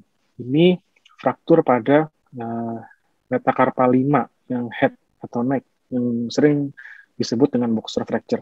Jadi kalau kita perhatikan tangan kita, kalau kita genggam, itu dia akan menunjuk pada salah satu yaitu scaphoid yang di sini kalau salah satu jari melenceng dari alignment itu, uh, uh, itu namanya alignment yang unacceptable atau tumpang tindih kayak kayak gambar yang di sebelah kanan ini. Ini namanya finger cascade. Jadi pada pasien dengan fraktur harus kita evaluasi uh, ini. Karena posisi yang tumpang tindih seperti ini akan mengganggu fungsi. Contohnya seperti ini ya, ini boxer fracture. Ini kita lihat ada fraktur di sini. Kemudian pasiennya setelah sembuh uh, suruh nekuk tangannya, suruh bikin kepalan, dan ternyata tiga jari ini ini mengarahnya ke sini ke scaphoid dan jari ini dia melenceng keluar. Ya sebetulnya mungkin pasien yang tidak akan menyadari ya, cuma uh, fungsinya ini akan berkurang. Biasanya untuk clinking itu kan untuk gripnya jadi jadi nggak enak gitu. Nah ini kita untuk uh, kondisi seperti ini, patah seperti ini yang tadi ditanyakan ya, ini dislokasi atau patah gitu. Uh, mungkin sekilas kalau lihat sini ini seperti dislokasi. Cuma setelah dilakukan X-ray ternyata sendinya masih dalam tempatnya dan tangannya fraktur. Pada pasien ini kalau kita sudah melakukan uh, close reduction ini ya ini acceptable. Ini yang mau saya sampaikan adalah ini position of safe immobilization. Jadi kalau kita mau mengimobilisasi jari atau tangan, usahakan dalam posisi seperti ini. Jadi ekstensi dari wristnya 10 sampai 45 derajat, kemudian MCP flexionnya itu 60 sampai 90, kemudian jari-jari dalam posisi lurus. Kenapa? Karena di metakarpal sini itu ada ligamen yang namanya collateral ligamen. Pada posisi lurus 0 derajat, MCP-nya itu kondisinya itu ligamen kolateralnya itu longgar. Tapi seiring waktu kan dia akan menyesuaikan. Jadi dia akan mengkerut, lama mengkerut begini. Ligamennya itu akan mengkerut, akan menyusut. Nah, kalau sudah menyusut, dia nggak akan bisa difleksikan ke sini. Gitu. Karena karena panjangnya ini pendek. Jadi dia nggak akan bisa ke sini. Kalau kita imobilisasi dalam posisi yang uh, fleksi seperti ini, kolateral ligamennya itu akan menjadi panjang dan tegang, akan stretch. Jadi dia tidak uh, ada kesempatan untuk mengkerut seperti yang ini kayak gini. Gitu. Jadi kalau kita imobilisasi jari dalam posisi lurus, tangannya lurus semua, nanti setelah tiga minggu dia akan kesulitan membentuk kepalan karena ya MCB-nya nggak bisa fleksi dibandingkan dengan kalau kita uh, taruh dalam posisi seperti ini gitu ini multiple metacarpal fracture selain split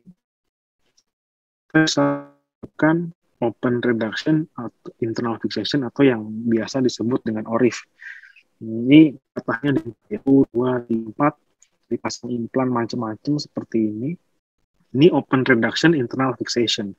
Nah, ini ada video uh, kalau open reduction internal fixation itu justru dia dibuka semuanya. Ini kelihatan semuanya, kita potong partnya, bor, ukur skrupnya, dan pasang skrupnya. Ini luka besar. Kalau kita lihat ya, ini tadi, ini lukanya besar di sini. Ulang lagi. Ini lukanya besar. Ini open reduction intrafixation atau ORIF. Nah, pada kasus ini, contohnya, uh, ini fraktur koles di saat radius. Pada uh, pada X-ray ini, kita bisa lakukan gips memang uh, dengan cara reduksi. Tapi pertanya pertanyaannya adalah, ini pasien usia muda, usia 30 berapa tahun gitu usia muda 30 sekian tahun, uh, saya berpikir saya berdiskusi dengan pasiennya mau di gips atau mau operasi karena saya berpikir kalau ini saya bisa obtain reduction-nya. Tapi apakah saya bisa maintain reduction-nya dan pasien bisa exercise lebih cepat agar dia nggak stiff gitu. Karena kalau dipasang gips itu 6 minggu biasanya dan pasti akan stiff dan akan mengganggu aktivitas. Ternyata pasien memilih untuk dilakukan tindakan ORIF atau ORIF kita pasang plat di sini. Gitu. Nih, ini kalau saya reduksi, kemungkinan saya tidak akan uh, dapat memaintain dari reduction tadi. Karena ada fragmen yang kombinatif di sini. Dan untuk distal radius fracture ini memang macam-macam ya ininya. Apa namanya? tata laksananya mulai dari gips, pasang wire, eksternal fiksasi, plat kayak gini dan macam-macam lah. Nah, terus ada external fixation juga untuk finger. Ini untuk apa? Kalau misalnya frakturnya itu kelewat kombinatif gitu. Jadi ini ada fraktur misalnya ya di falang seperti ini.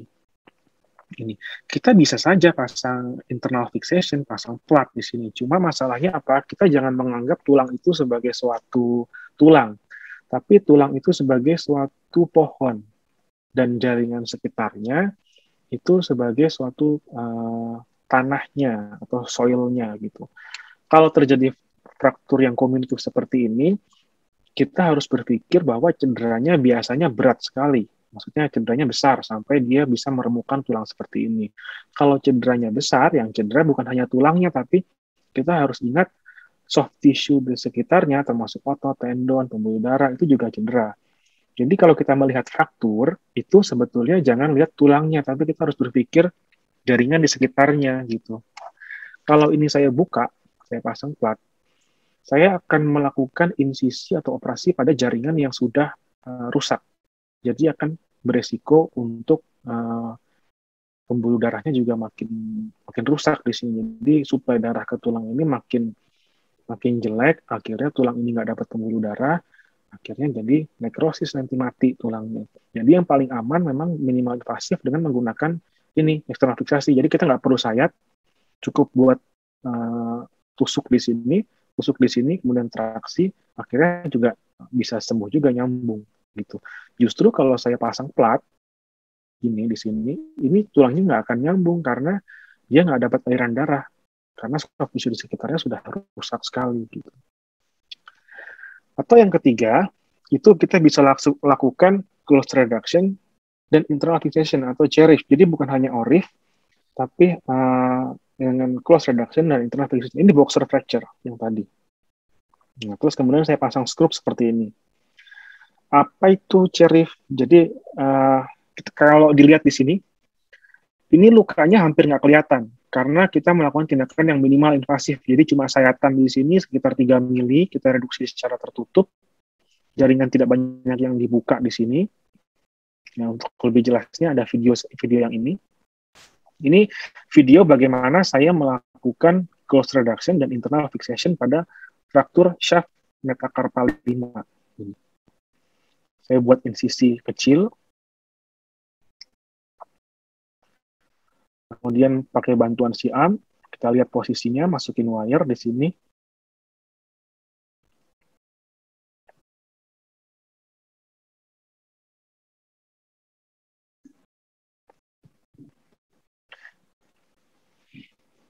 Terus ini masukin apa drillingnya. Jadi uh, sebisa mungkin kalau fraktur pada tangan itu kita harus berpikir bahwa jangan jangan merusak atau melakukan tindakan dengan sayatan yang besar karena tangan itu uh, rawan sekali stiff. Ini ini saya lakukan dengan bius lokal ya. Kalau kalau habis habis pasang ini, pasien suruh gerak. Ini dengan bius lokal. Jadi setelah dipasang, saya suruh pasien gerak. Jadi pada tangan itu uh, sekarang dulu memang yang paling gampang ya, paling gampang itu kita lakukan orif. Jadi lukanya kita buka semuanya, tulangnya jelas, di ronsen kelihatan bagus. Cuma nggak seperti itu. Makin kita makin kita buka-buka besar-besar, lebarnya, terus kemudian jaringannya juga banyak yang dirusak karena prosedur operasi, justru komplikasinya akan makin besar. Tapi dengan kalau kita berusaha semaksimal mungkin untuk tidak merusak jaringan, apalagi dengan tindakan minimal invasif, ya kerusakan jaringannya juga tidak akan besar gitu. Oke, yang berikutnya adalah ligamen injury. Ini saya mau jelaskan bahwa ada yang namanya triangular fibrocartilage complex. Itu ligamen yang paling sering cedera di pergelangan tangan, sisi ulnar, sisi ini. Biasanya jatuh pada posisi tangan yang outstretch. Nah, biasanya untuk tata laksana itu kita lakukan tindakan minimal invasif yang dinamakan wrist arthroscopy. Jadi kita bisa lihat semua sendinya. Ini wrist arthroscopy, kita bisa lihat sendinya semuanya. Jadi kita cukup melakukan luka tusukan saja di sini. Nih, kita bisa lihat semua sendinya, kita bersihkan. Ini kelihatan robeknya nih di sini. Nah, robek yang ini nanti dijahit tuh. Yang kesering Nah, sekarang ini adalah tam kolateral tam ulnar kolateral atau UCL injury. Ini biasanya sering kalau jatuhnya dalam posisi seperti ini, terutama pada uh, orang-orang uh, yang naik sepeda ya selain ada fraktur di radius, juga ada cedera ini. Gitu. Jadi di jempol itu ada dua ligamen yang sisi ulnar sama sisi radial. Kalau jatuhnya seperti ini, yang sisi ulnar ya biasanya yang yang cedera. Jadi cederanya bisa bisa ini bisa putus di tengah-tengah atau tulangnya kecabut. Cara tahunya biasanya kalau habis jatuh seperti ini, itu di sisi sini, di sisi sini nih, itu ditekan. Biasanya sakit atau ada benjolan di situ. Itu ligamennya biasanya yang edema atau bahkan kecabut dari situ. Gitu. Kemudian jenis ligamen injury yang lain adalah dislokasi. Kalau kita lihat, ini nggak ada patahnya tapi untuk membentuk suatu dislokasi seperti ini harus ada ligamen yang ruptur. Jadi uh, kalau jari itu ada dua ligamen di sisi ulang dan radial dan ada struktur di polar di bawah sini yang namanya polar plate. Nah, untuk supaya dislokasi seperti ini, dua dari tiga struktur itu uh, harus rusak. Jadi untuk pada kasus seperti ini ya, ini merupakan suatu emergency open dislocation. Jadi uh, kalau misalkan nemu kasus seperti ini, jadi tarik aja dimasukin ke dalam. Karena kalau misalkan dibiarkan seperti ini, ada resiko infeksi yang pasti. Yang kedua pembuluh darahnya tertekuk di sini. Jadinya dia bisa nekrosis nanti. Nah, kemudian tendon injury yang perlu saya sampaikan di sini adalah coba lihat gambar yang di atas sama gambar yang di bawah. Kalau gambar yang di bawah itu tendonnya masih utuh semua, masih intak semua walaupun ini sudah dipotong ya. Hmm, dia masih ada kontinuitas dengan ototnya. Jadi masih ada tonusnya sehingga jarinya dalam posisi tertekuk.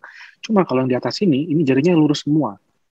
Pada intinya adalah posisi tangan dan jari pada uh, posisi tangan ya posisi ta posisi jari pergelangan tangan pada tangan itu berada dalam keseimbangan antara tonus otot flexor dan otot ekstensor.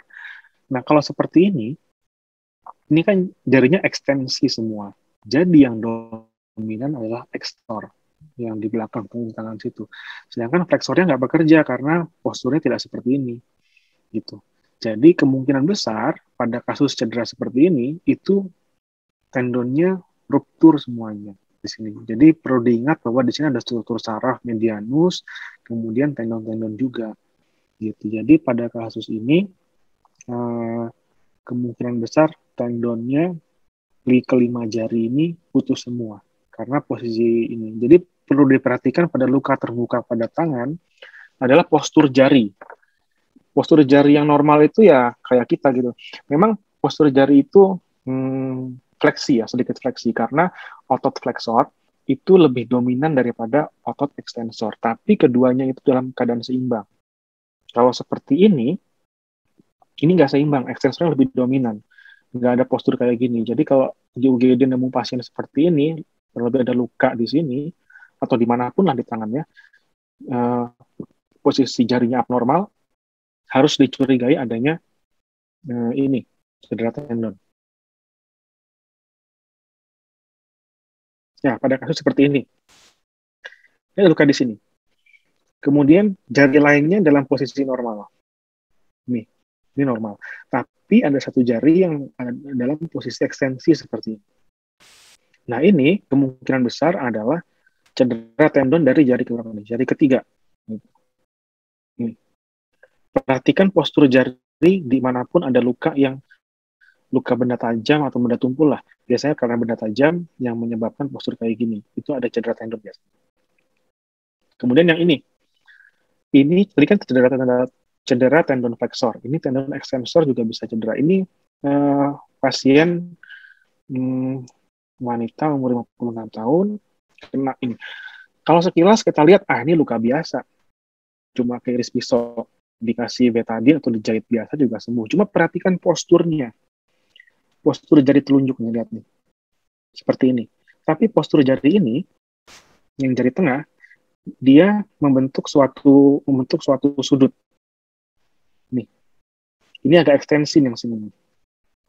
Dibandingkan dengan yang ini. Nah, kalau ada postur yang aneh seperti ini, biasanya ada cedera tendon karena terjadi ketidakseimbangan antara flexor dan extensor pas dibuka ternyata benar ada ruptur total dari tendon ekstensor itu. Nah ini deformitas dari jari yang disebabkan karena imbalance tendon antara flexor dan ekstensor. Pada kasus ini jenis deformitinya adalah boutonniere. Lihat ini. Jadi dia membentuk garis seperti ini. Ini kayak gini. Boutonniere ini diakibatkan karena cedera tendon ekstensor di yang panah merah ini. Gitu. Jadi terjadi ketidakseimbangan antara flexor di bawah dan extensor di atas sehingga menyebabkan yang ini ketarik begini. Gini. Setelah dilakukan repair, dia kembali ke postur awal sama dengan jari telunjuk ini ketutup lagi ya. Bentar. Nah ini setelah setelah dikembalikan dia kembali ke posisi awal kayak. Terus ada posisi-posisi yang lain juga, ada swan neck, nah ada mallet. Mallet ini sering sekali biasanya uh, olahraga yang pakai bola, entah itu soccer atau basket atau bahkan cuma simple jarinya kepentok apa gitu. Ininya fleksi sininya. Itu perlu dipikirkan mallet ini sering sekali mallet. Kalau mallet ini cukup dikasih splitting aja sebenarnya bisa, kecuali kalau bukan mallet ya.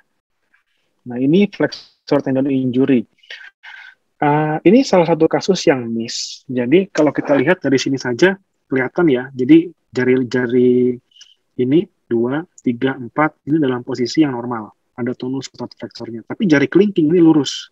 Jadi ceritanya pasien ini dibawa ke UGD akibat keiris pisau. Lukanya di sini. Lukanya di mana ya? Lukanya di sini. Lukanya di sini. Di, di sini nih. Ada bekasnya nih. Pada saat itu uh, katanya pasien cuma dijahit aja. Tapi setelah beberapa minggu kemudian kok nggak bisa gerak tangannya.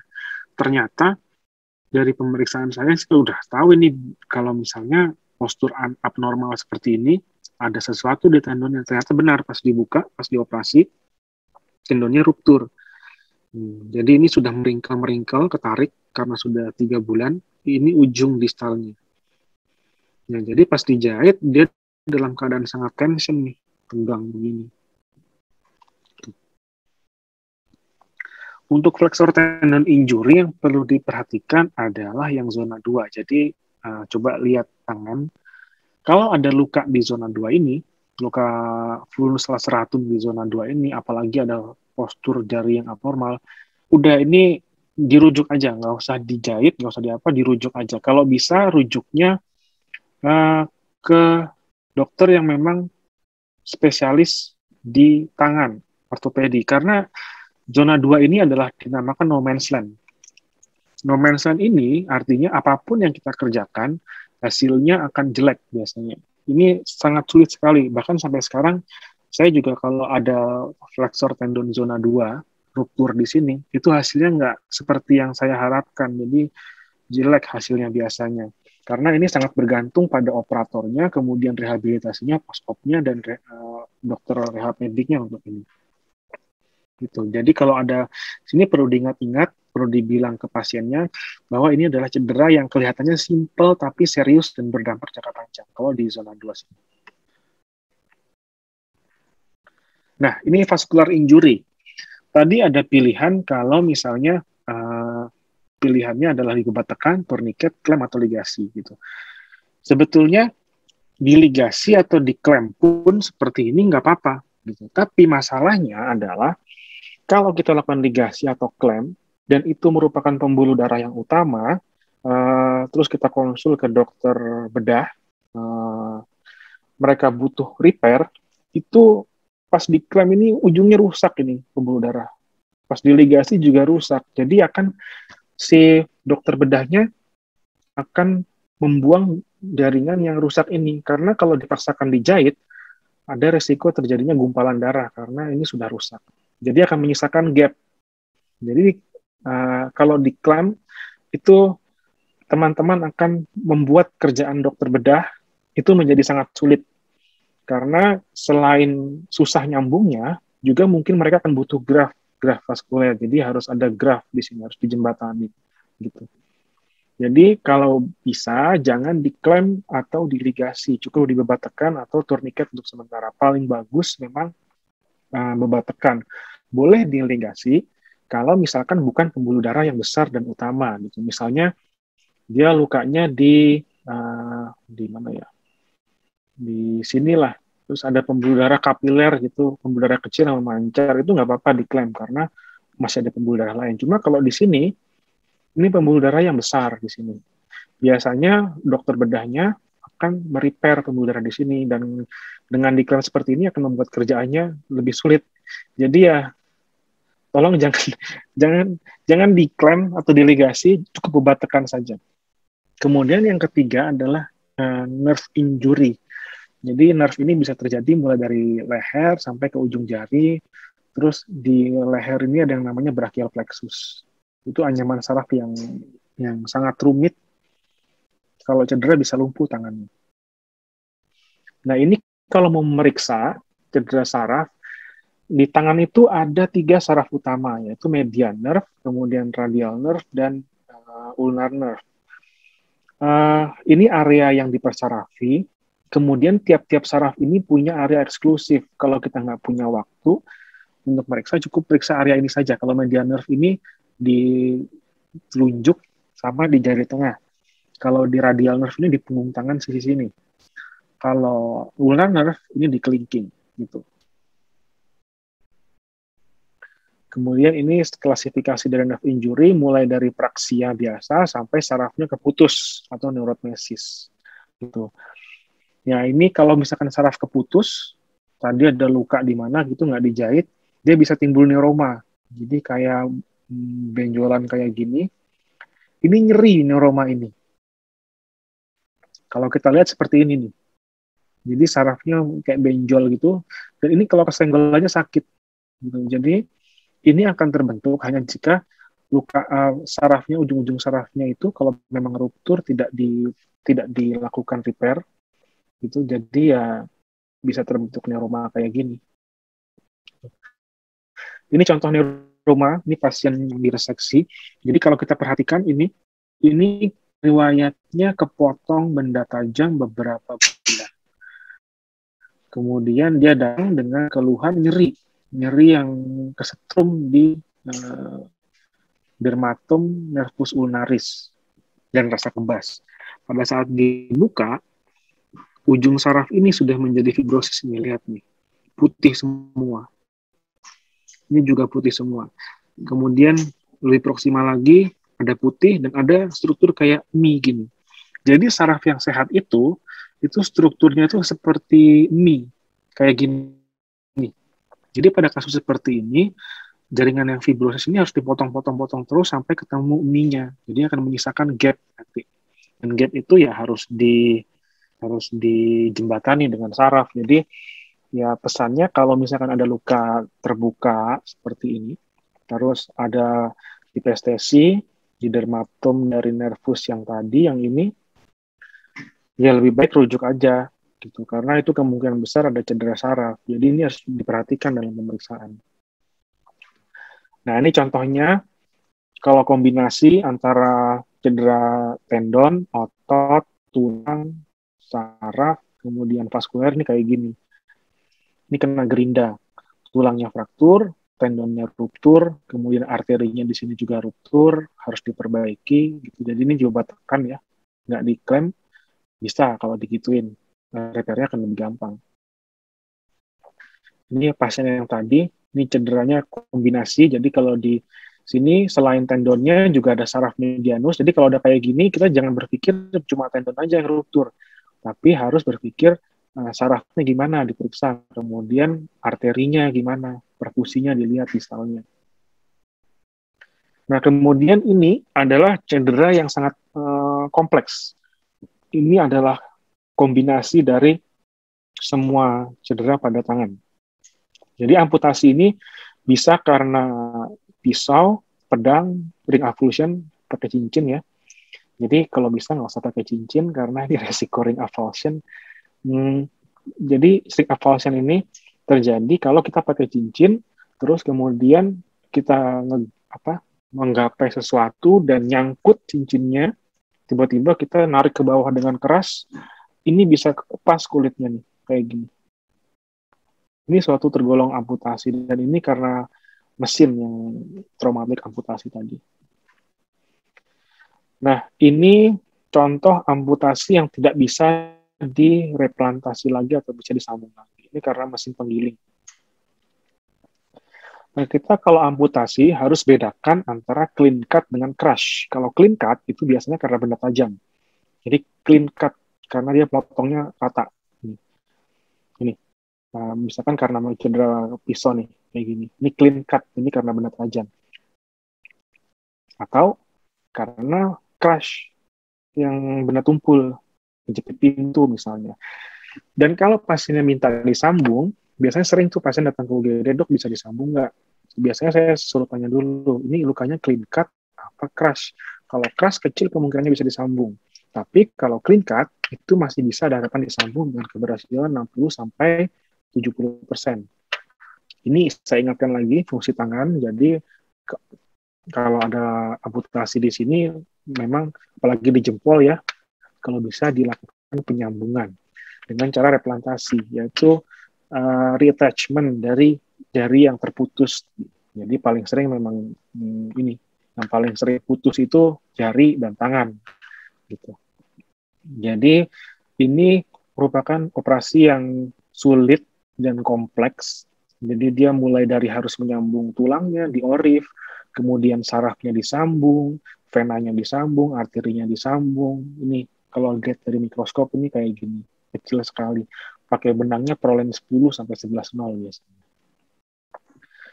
Tentu kalau ada pasien kayak gini, ya harus ini, harus dilihat primary survey balik kayak tadi, karena tentu kalau kayak gini ya, darahnya kehilangannya banyak sekali. Jadi setelah pasiennya stabil, yang perlu dilakukan itu adalah ini, ambil foto, kemudian uh, preserve remaining part, kemudian X-ray untuk menentukan strategi pembedahan atau strategi penyambungan. Lalu bagaimana preserve partnya? Ini yang penting. Jadi kalau ada kasus kayak gitu, uh, amputi atau putulan tadi, mana tuh? Ini yang bagian yang terputus tadi, itu cuci pakai uh, NaCl. Kemudian dibungkus dengan kasa lembab NaCl. Kasa lembab ini kemudian ditaruh di kantong plastik yang kering. Nah, setelah di kantong plastik yang kering, kemudian kantong plastik ini dimasukkan lagi ke kantong plastik yang sudah diisi es kayak gini. Tapi perlu diingat bahwa esnya itu harus 4 derajat gitu. Karena kalau lebih dari 4 derajat uh, nanti jaringannya bisa cepat mati kan tujuan untuk ditaruh di es ini untuk memperlambat metabolisme sehingga dia bakteri-bakterinya nggak eh, nggak uh, berkembang dengan cepat kemudian juga bisa lebih awet. Ini kalau kayak gini bisa bertahan sampai 48 jam gitu. Tapi jangan sampai kurang dari 0 derajat. 0 derajat itu nggak boleh karena nanti jadi es tuh di kapiler-kapilernya kalau terjadi es atau uh, kristalisasi air di kapilernya akan merusak kapilernya sehingga akan menyebabkan uh, kerusakan tunika intima dan nanti kalau disambung resiko trombus besar gitu.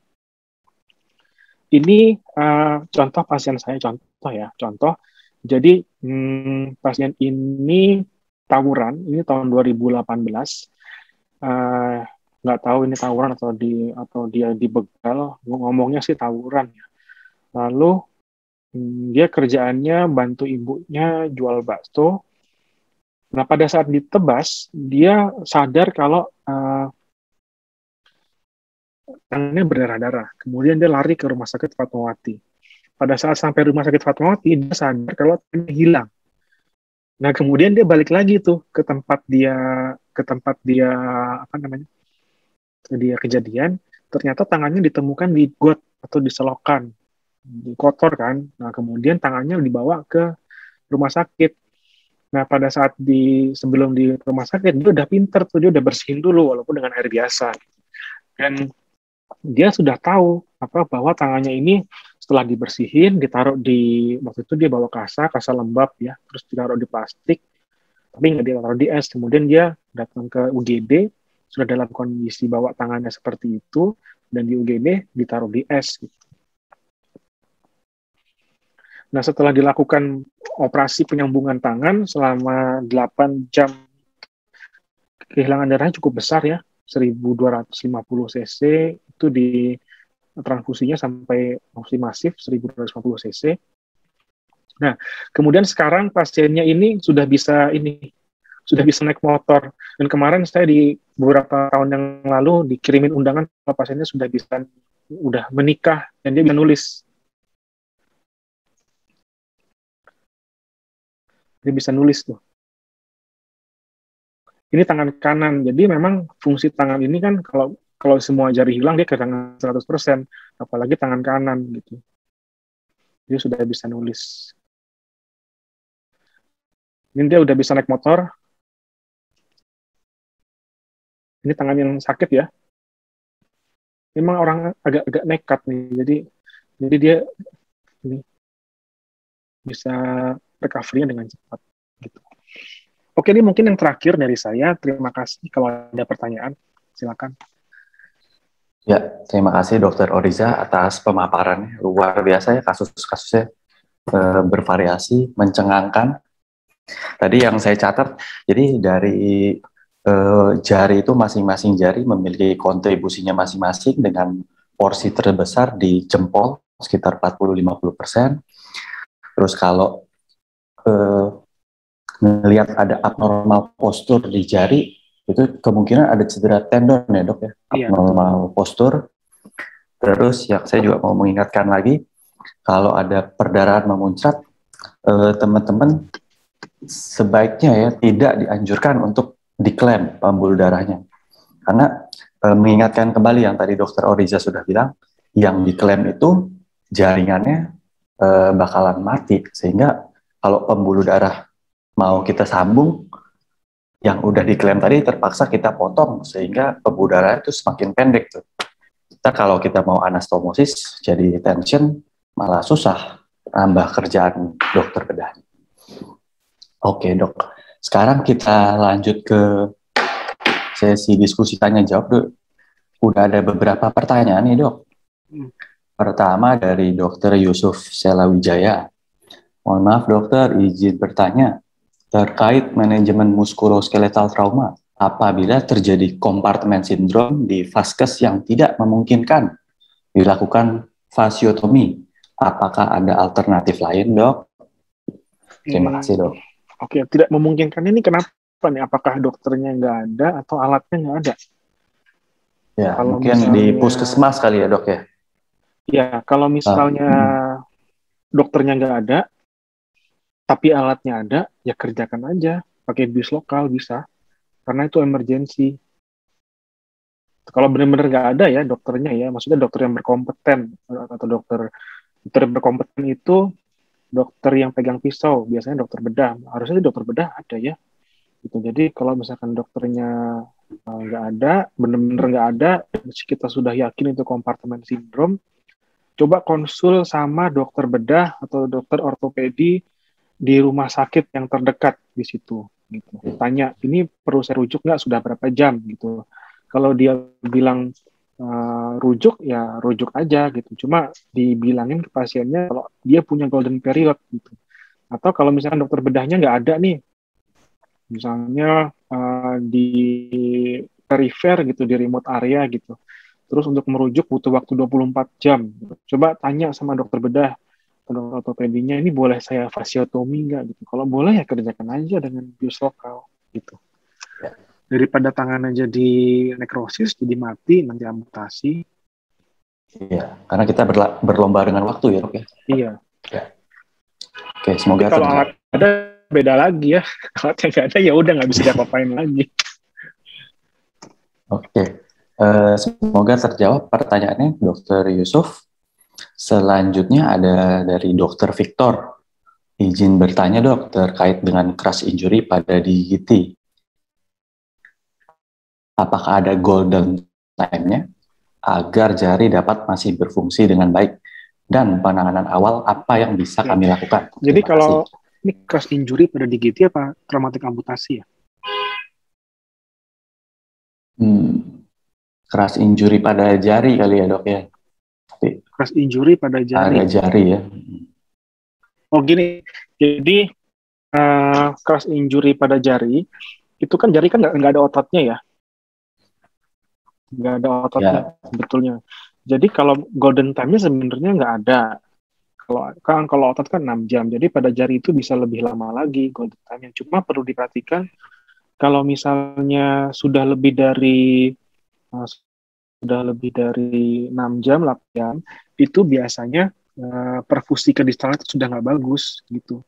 Jadi kalau dalam bidang hand itu kita ada namanya uh, revaskularisasi.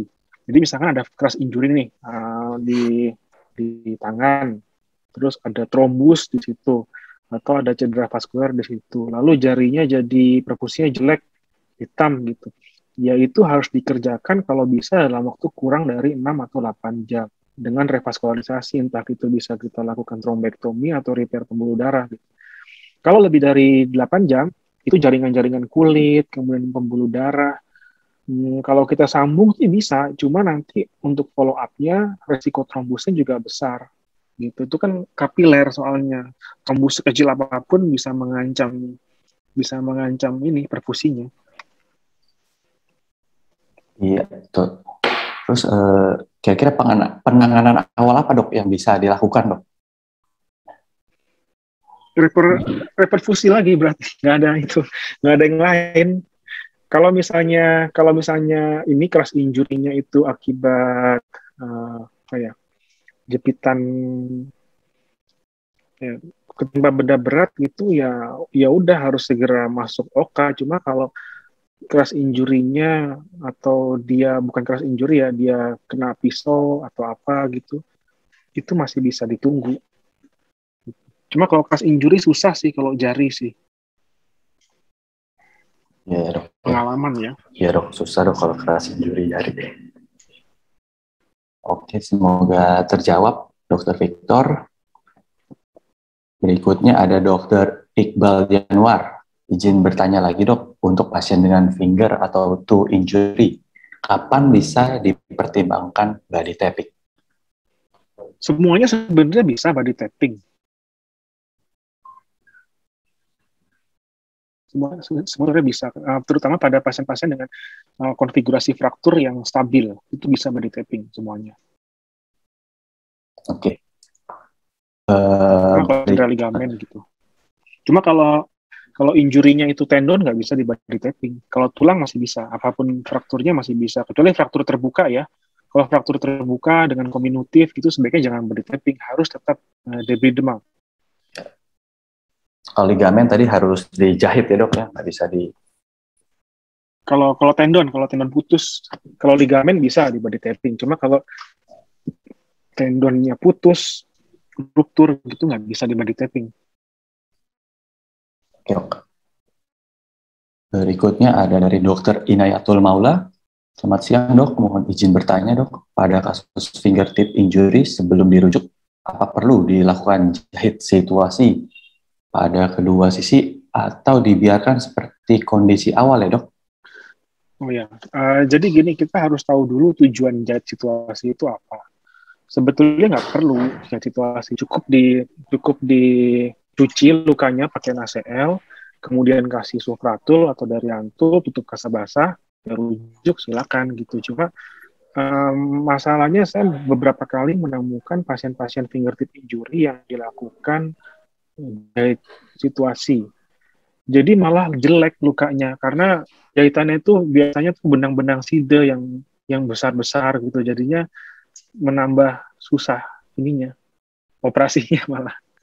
Jadi gitu aja. Yeah. Jadi kalau misalnya fingertip injury, terus lukanya itu hmm, fingertip injury kan nggak besar ya harusnya ya, karena dia itu cuma kecil aja di ujung jari. Eh, nggak uh, usah dijahit situasi, cukup di ini aja. Cukup cuci luka, terus pasang spalak pakai ini, pakai stick es krim gitu.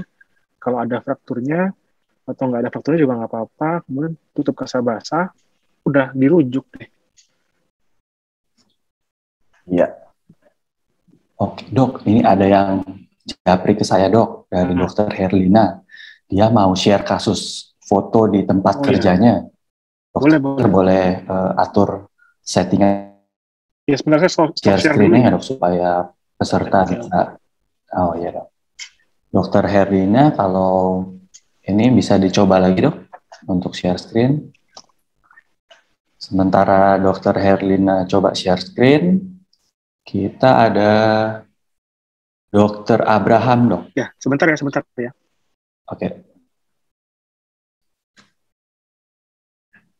Dokter Herlina tadi boleh dicoba lagi share screen dok. Uh, mau sharing kasus di tempat kerjanya. Apakah sudah bisa?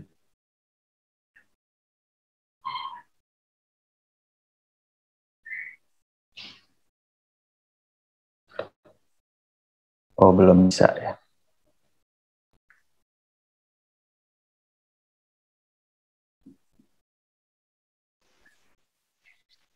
Eh, gimana tadi? Tanya siapa tadi?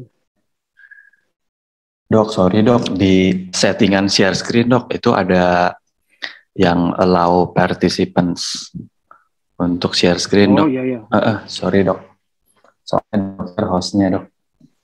Kalau participant aja ya? Iya, all participant. Udah, udah. Oke. Oke, dokter Herlina boleh dicoba lagi dok.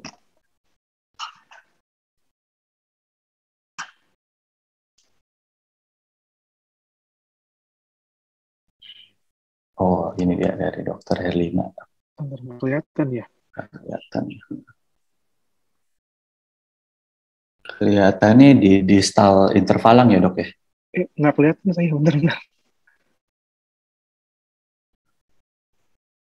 Eh, Ha- dokter Herlina, boleh Eh, di un- Oh, udah, udah, udah, unmute, udah. Udah, udah, udah, udah. udah. Nah, iya, kelihatannya di distal intervalang. ya. Nah, yang mau ditanyakan apa ya, Dokter Herlina? Boleh di unmute, dokter Herlina. Suaranya belum terdengar, dok. Halo dok, iya Iya. izin dok. Ini Halo, kasus iya, selamat. Ah, gimana, Dokter Herlina? Selamat siang dok, saya dokter. Herlin dari Iya. Papua dok. Ini Hmm. kasus tiga hari lalu saya dapat laki-laki dok. Eh jarinya terkena mesin kayak mesin gurinda begitu dok di di Hmm. GT3 dok. Hmm. Terus di puskesmas saya kebetulan kerja di puskesmas dok. Hmm.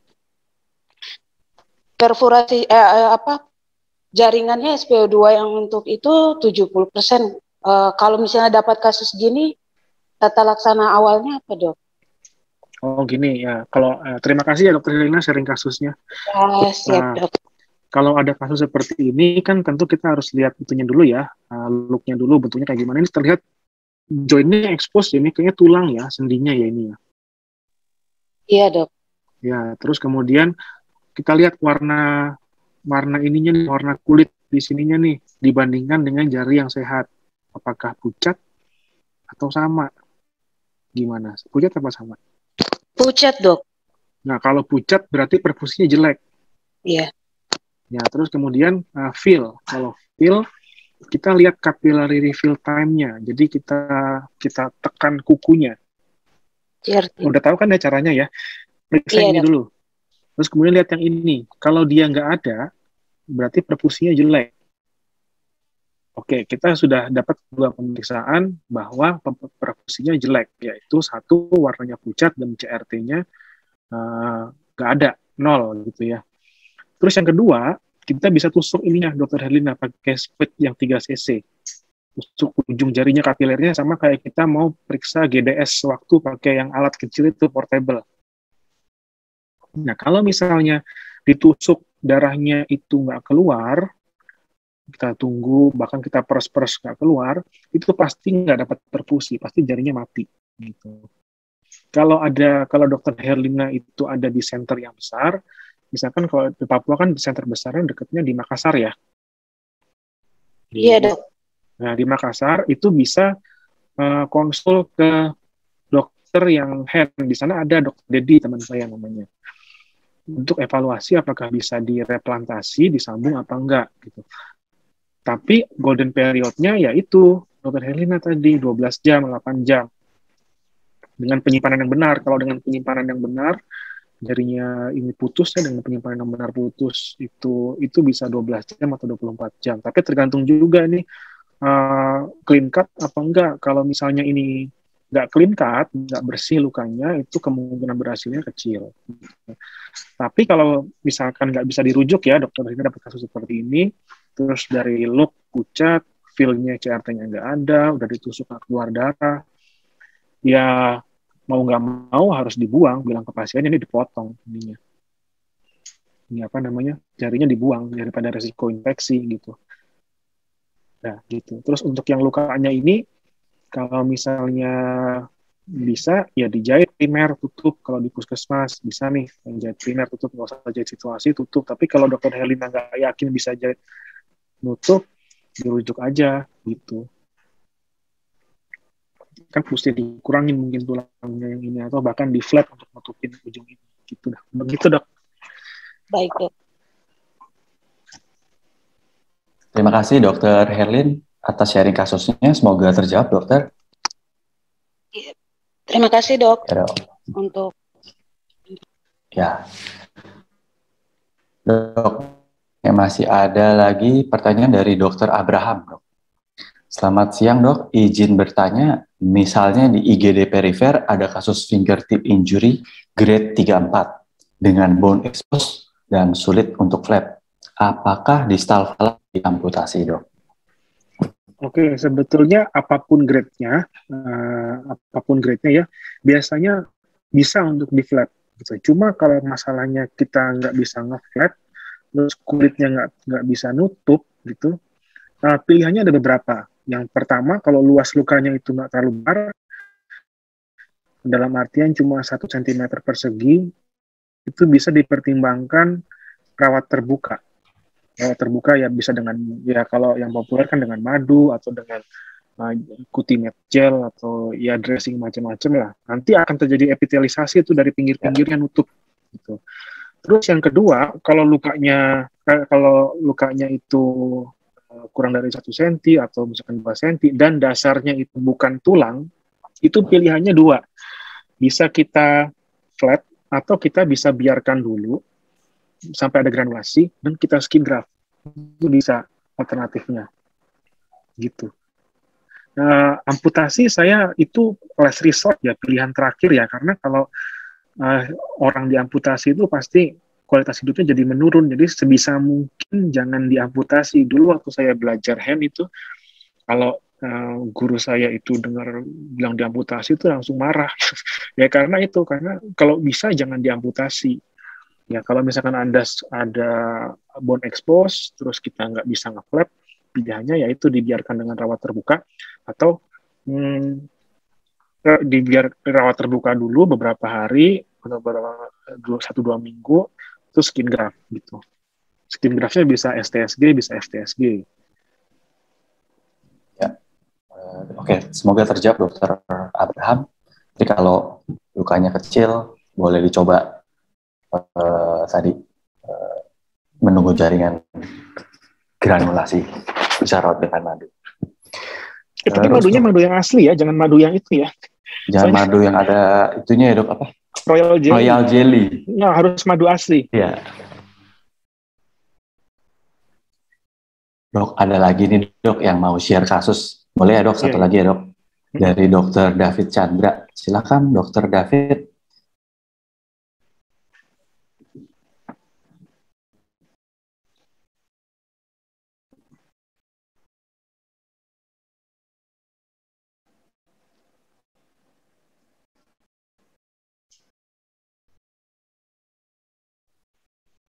Dokter David, silakan dicoba share screen.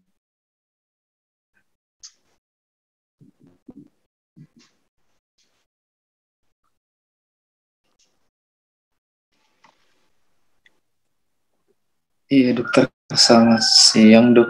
Ini saya mau share kasus dok. Sempat ketemu saya dokter David dari Rumah Sakit RSUD Harapan Insan Sendawa, Kutai Barat ini ketemu pasien laki-laki sekitar usianya 40 tahun, dia seorang tukang. Jadi ini tangannya ini terkena bor mesin katanya pada saat bekerja dan langsung dibawa ke sini dok. Nah kalau gini, apakah kita penangan awalnya bagaimana dok? Apakah tetap seperti kayak kita uh, cuci luka dahulu setelah misalnya protap ATLS-nya sudah kita jalankan, kita cuci luka, kita bebat aja atau kita reduksi langsung dokter? Hmm, oh ya gini, jadi jadi ini kasusnya kena mesin ya? Iya, kena bor mesin. Saya, saya gedein dulu deh, nggak kelihatan. Oh, iya. Jadi ini masalahnya memang lukanya kalau kalau luka terbuka seperti ini kena musik kena mesin kita anggap luka kotor ya. Iya. Perkontaminasi. Jadi betul harus dicuci dulu, dibersihkan dulu supaya nggak supaya nggak kontam, kontaminannya paling nggak berkurang lah, nggak hilang tapi berkurang. Karena untuk menghilangkan kontaminan itu harus dilakukan debris demam gitu sampai hilang benar-benar. Terus yang kedua, hmm, ini evaluasi dulu dengan look, lihat innya. dibandingkan dengan jari sebelahnya atau jari yang sehat di sebelahnya. Seperti kasus dokter Herlina tadi, ini pucat apa enggak warnanya? Pucat dokter, yang jari ketiganya agak kehitaman. Ya, uh, udah berapa hari ya?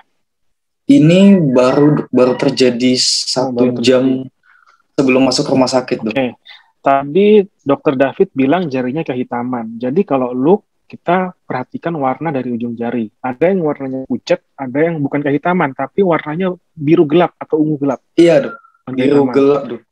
Nah, masalahnya adalah kalau jarinya pucat, itu berarti ada gangguan perfusi dari arteri. Karena arteri itu kan membawa darah merah segar yang berwarna merah kan ya. Jadinya uh, ini warnanya nggak merah tapi pucat gitu. Tapi kalau warnanya biru gelap, itu berarti ada gangguan darah balik, vena.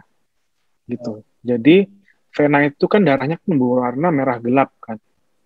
Dan pembuluh darahnya kan kalau kita lihat kan warnanya kan biru-biru gelap atau ungu gelap gitu. Nah, kalau terjadi ini kalau ini kelihatan jelas nih, ini warnanya kayak ungu atau biru gelap gitu ya. Iya. Berarti Setelah ada aliran kapiler atau stagnan darah di sini yang tidak bisa dialirkan balik oleh pembuluh darah vena dengan lancar. Jadi kesimpulannya dari loop ada cedera arteri dan cedera vena. Kalau lihat dari sini kemungkinan cedera vena, pasti cedera arteri juga ada. Ya ditanggap sebagai cedera pembuluh darah. Itu yang pertama. Yang kedua, uh, looknya lagi postur tangannya. Dari normal kan? Lurus semua. Ya Iya. eh, abnormal lurus semua. Tapi masih bisa tegak ya sepertinya ya. Iya. masalahnya adalah pasti ada ruptur tendon flexor. Pasti. Pasti ini ada ruptur tendon flexor. Kalau tulang belum tentu karena kalau gerinda itu kalau misalkan ini kena tulang patah total gitu ya fraktur komplit ini nggak gini nggak bisa tegak begini dia kayak flex gitu paling nggak ada chipping lah dikit-dikit gitu Nah, lu- Iya. nah, nah, berarti ini kemungkinan cedera pembuluh darah, ada cedera eh, tadi apa tadi tendon. Terus kemudian untuk feel-nya ya dilihat tadi capillary feel time-nya gimana, kayak dok- kasusnya dokter Herlina tadi gitu. Iya. Ini ada Terus foto ronsennya dok.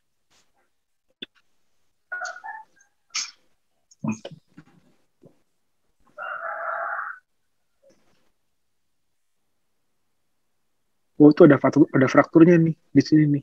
Iya dok. Ya ada Nah. frakturnya. Nah kalau ada kasus gini, itu kan dicuci dulu, ya kan? Nah terus eh, kulitnya yang ini coba dibalikin lagi. Nah, kulitnya ini nge-flap begini kan? Ini kita evaluasi nih, ini mati apa enggak? Cuma itu agak susah sih evaluasinya kalau baru kejadian. Ini setelah dicuci, kulitnya dibalikin lagi ke sini. Boleh dijahit atau jahit situasi atau enggak jahit situasi. Cuma kalau saya prefer nggak usah dijahit situasi. Jadi cukup kalau ada fraktur di splinting aja ininya, jarinya. Dengan body tapping ya, di splinting, benar-benar di splinting dari ujung jari sampai sini. Gitu. Ditutup kasa lembab, udah selesai kirim. Tapi di pasiennya dibilangin, suruh monitoring ini. Kalau dalam waktu 24 atau 48 jam ininya, apa namanya, ininya rusak atau warnanya pucat gelap, ya kemungkinan besar juga mati gitu. Kalau di center besar, dikirim center besar, yang ada handnya mungkin bisa dilakukan revaskularisasi di sini. Cuma kalau nggak ada, ya kasih tahu aja pasiennya kayak gitu. Iya. Dalam waktu tiga jam jadi gelap. Ya. Kan? Jadi gelap berarti itu apa? Terjadi stagnasi vena di situ. Cedera, Oh, Jadi cedera cederanya itu yang paling sering itu adalah kalau kayak gitu eh, biasanya arteri dan vena sama-sama nggak bagusnya kalau vena stagnasi di sini toksik bahan toksik yang ngumpul di sini bisa jadi mati juga nih lama-lama dan trombus di sini nanti kalau stagnasi. Ingat hukum Virchow kan ya. Jadi kalau stagnasi di sini trombus di sini ya mati juga akhirnya. Jadi nggak cuma arteri yang bikin mati, tapi vena juga bisa bikin mati. Gitu. iya. Justru Terima kalau Dok. nanti dokter David coba jahit-jahit ininya jahit ini, justru duham nanti malah ini fraktur ada frakturnya goyang-goyang, terus pembuluh darahnya Hmm. juga mungkin kejahit gitu, Iya. gitu. kasih dok. Sama-sama. Dok, boleh izin bertanya dok? Iya, iya. Lagi, kalau misalnya kan saya dapat kasus dok, dia uh, terlindas truk pahanya dok. Itu pada pasien usia 17 tahun, kemudian dia uh, pada waktu diobservasi selama menunggu dia mau dioperasi elektif, itu anu dok, sudah kakinya itu sudah bengkak, sudah sampai pusles dan SPO2-nya tidak terbaca. Kamu karena compartment syndrome di femur sinistranya, Dok. Nah, itu setelah dilakukan fasiotomi, apakah boleh ada tahapannya apakah langsung ke dilakukan ORIF atau menunggu dulu kayak ada jenjang waktunya setelah dilakukan fasiotomi terus berapa hari baru boleh dilakukan ORIF-nya gitu dokter. Ini terbuka apa tertutup ya? Tertutup, dokter. Oh, tertutup. Itu harus fasiotomi urgent itu sebetulnya. Oh iya, sudah di fasiotomi, dokter. Ya. Dan fasiotomi itu tidak uh, tidak akan berguna jika dilakukan lewat dari fase akut. Jadi fasiotomi itu harus benar-benar akut dan urgent. Setelah itu malah banyak mudorotnya daripada manfaatnya gitu. Jadi jadi kalau menurut penelitian kalau fasiotomi itu ada yang namanya coba nanti searching ada late fasiotomi itu malah resiko infeksi gitu. Tapi kalau sudah sampai pulseless gitu ya sudahlah itu agak susah. Mungkin mungkin ya mungkin kalau sudah pulseless gitu setelah dilakukan fasiotomi uh, itu ada trombusnya dalamnya. Hmm. Yeah. Gitu. Tapi untuk waktunya setelah di fasiotomi terus mau dilakukan tindakan ORIF itu itu harus segera mungkin atau enggak enggak harus ada... segera mungkin. Oh. ORIF itu bisa belakangan. Jadi kalau oh. di ortopedi ada yang namanya damage control surgery. Jadi misalkan frakturnya multiple ya ada femur, ada pelvis, terus ada antebrakii gitu. Kita prioritaskan stabilisasi pada fraktur-fraktur yang mengancam Hmm. Kalau femur ya, kalau femur hmm, pasang eksternal fiksasi di femur dulu atau pelvis pasang eksternal fiksasi di pelvis dulu gitu. Jadi nggak harus orif. Kalau butuh fasiotomi atau uh, itu ya harus dilakukan segera gitu. Ya, makasih dok. Terima kasih dokter David. Sharing kasusnya luar biasa dan menjaga di Kalimantan. Oke, uh, Dokter Oriza, ini kita sudah tidak terasa sudah dua jam lebih. Dua jam ya? Iya, sudah di penghujung acara. Uh, semoga uh, sharing dari Dokter Oriza bisa bermanfaat bagi kita dan bagi pasien yang nantinya kita tangani. Uh, saya mau ucapkan terima kasih pada panitia, juga ke Dokter Oriza sebagai narasumber, terus ke teman-teman peserta juga yang mau berbagi kasusnya. Oke, semoga semoga kita uh, aman selalu, sehat selalu. Uh, sampai jumpa di webinar IPS course berikutnya. Sebelum ini kita foto dulu kali ya dok. Iya boleh boleh. Buat teman-teman, kalau berkenan nyalain video sebentar, kita berfoto dulu.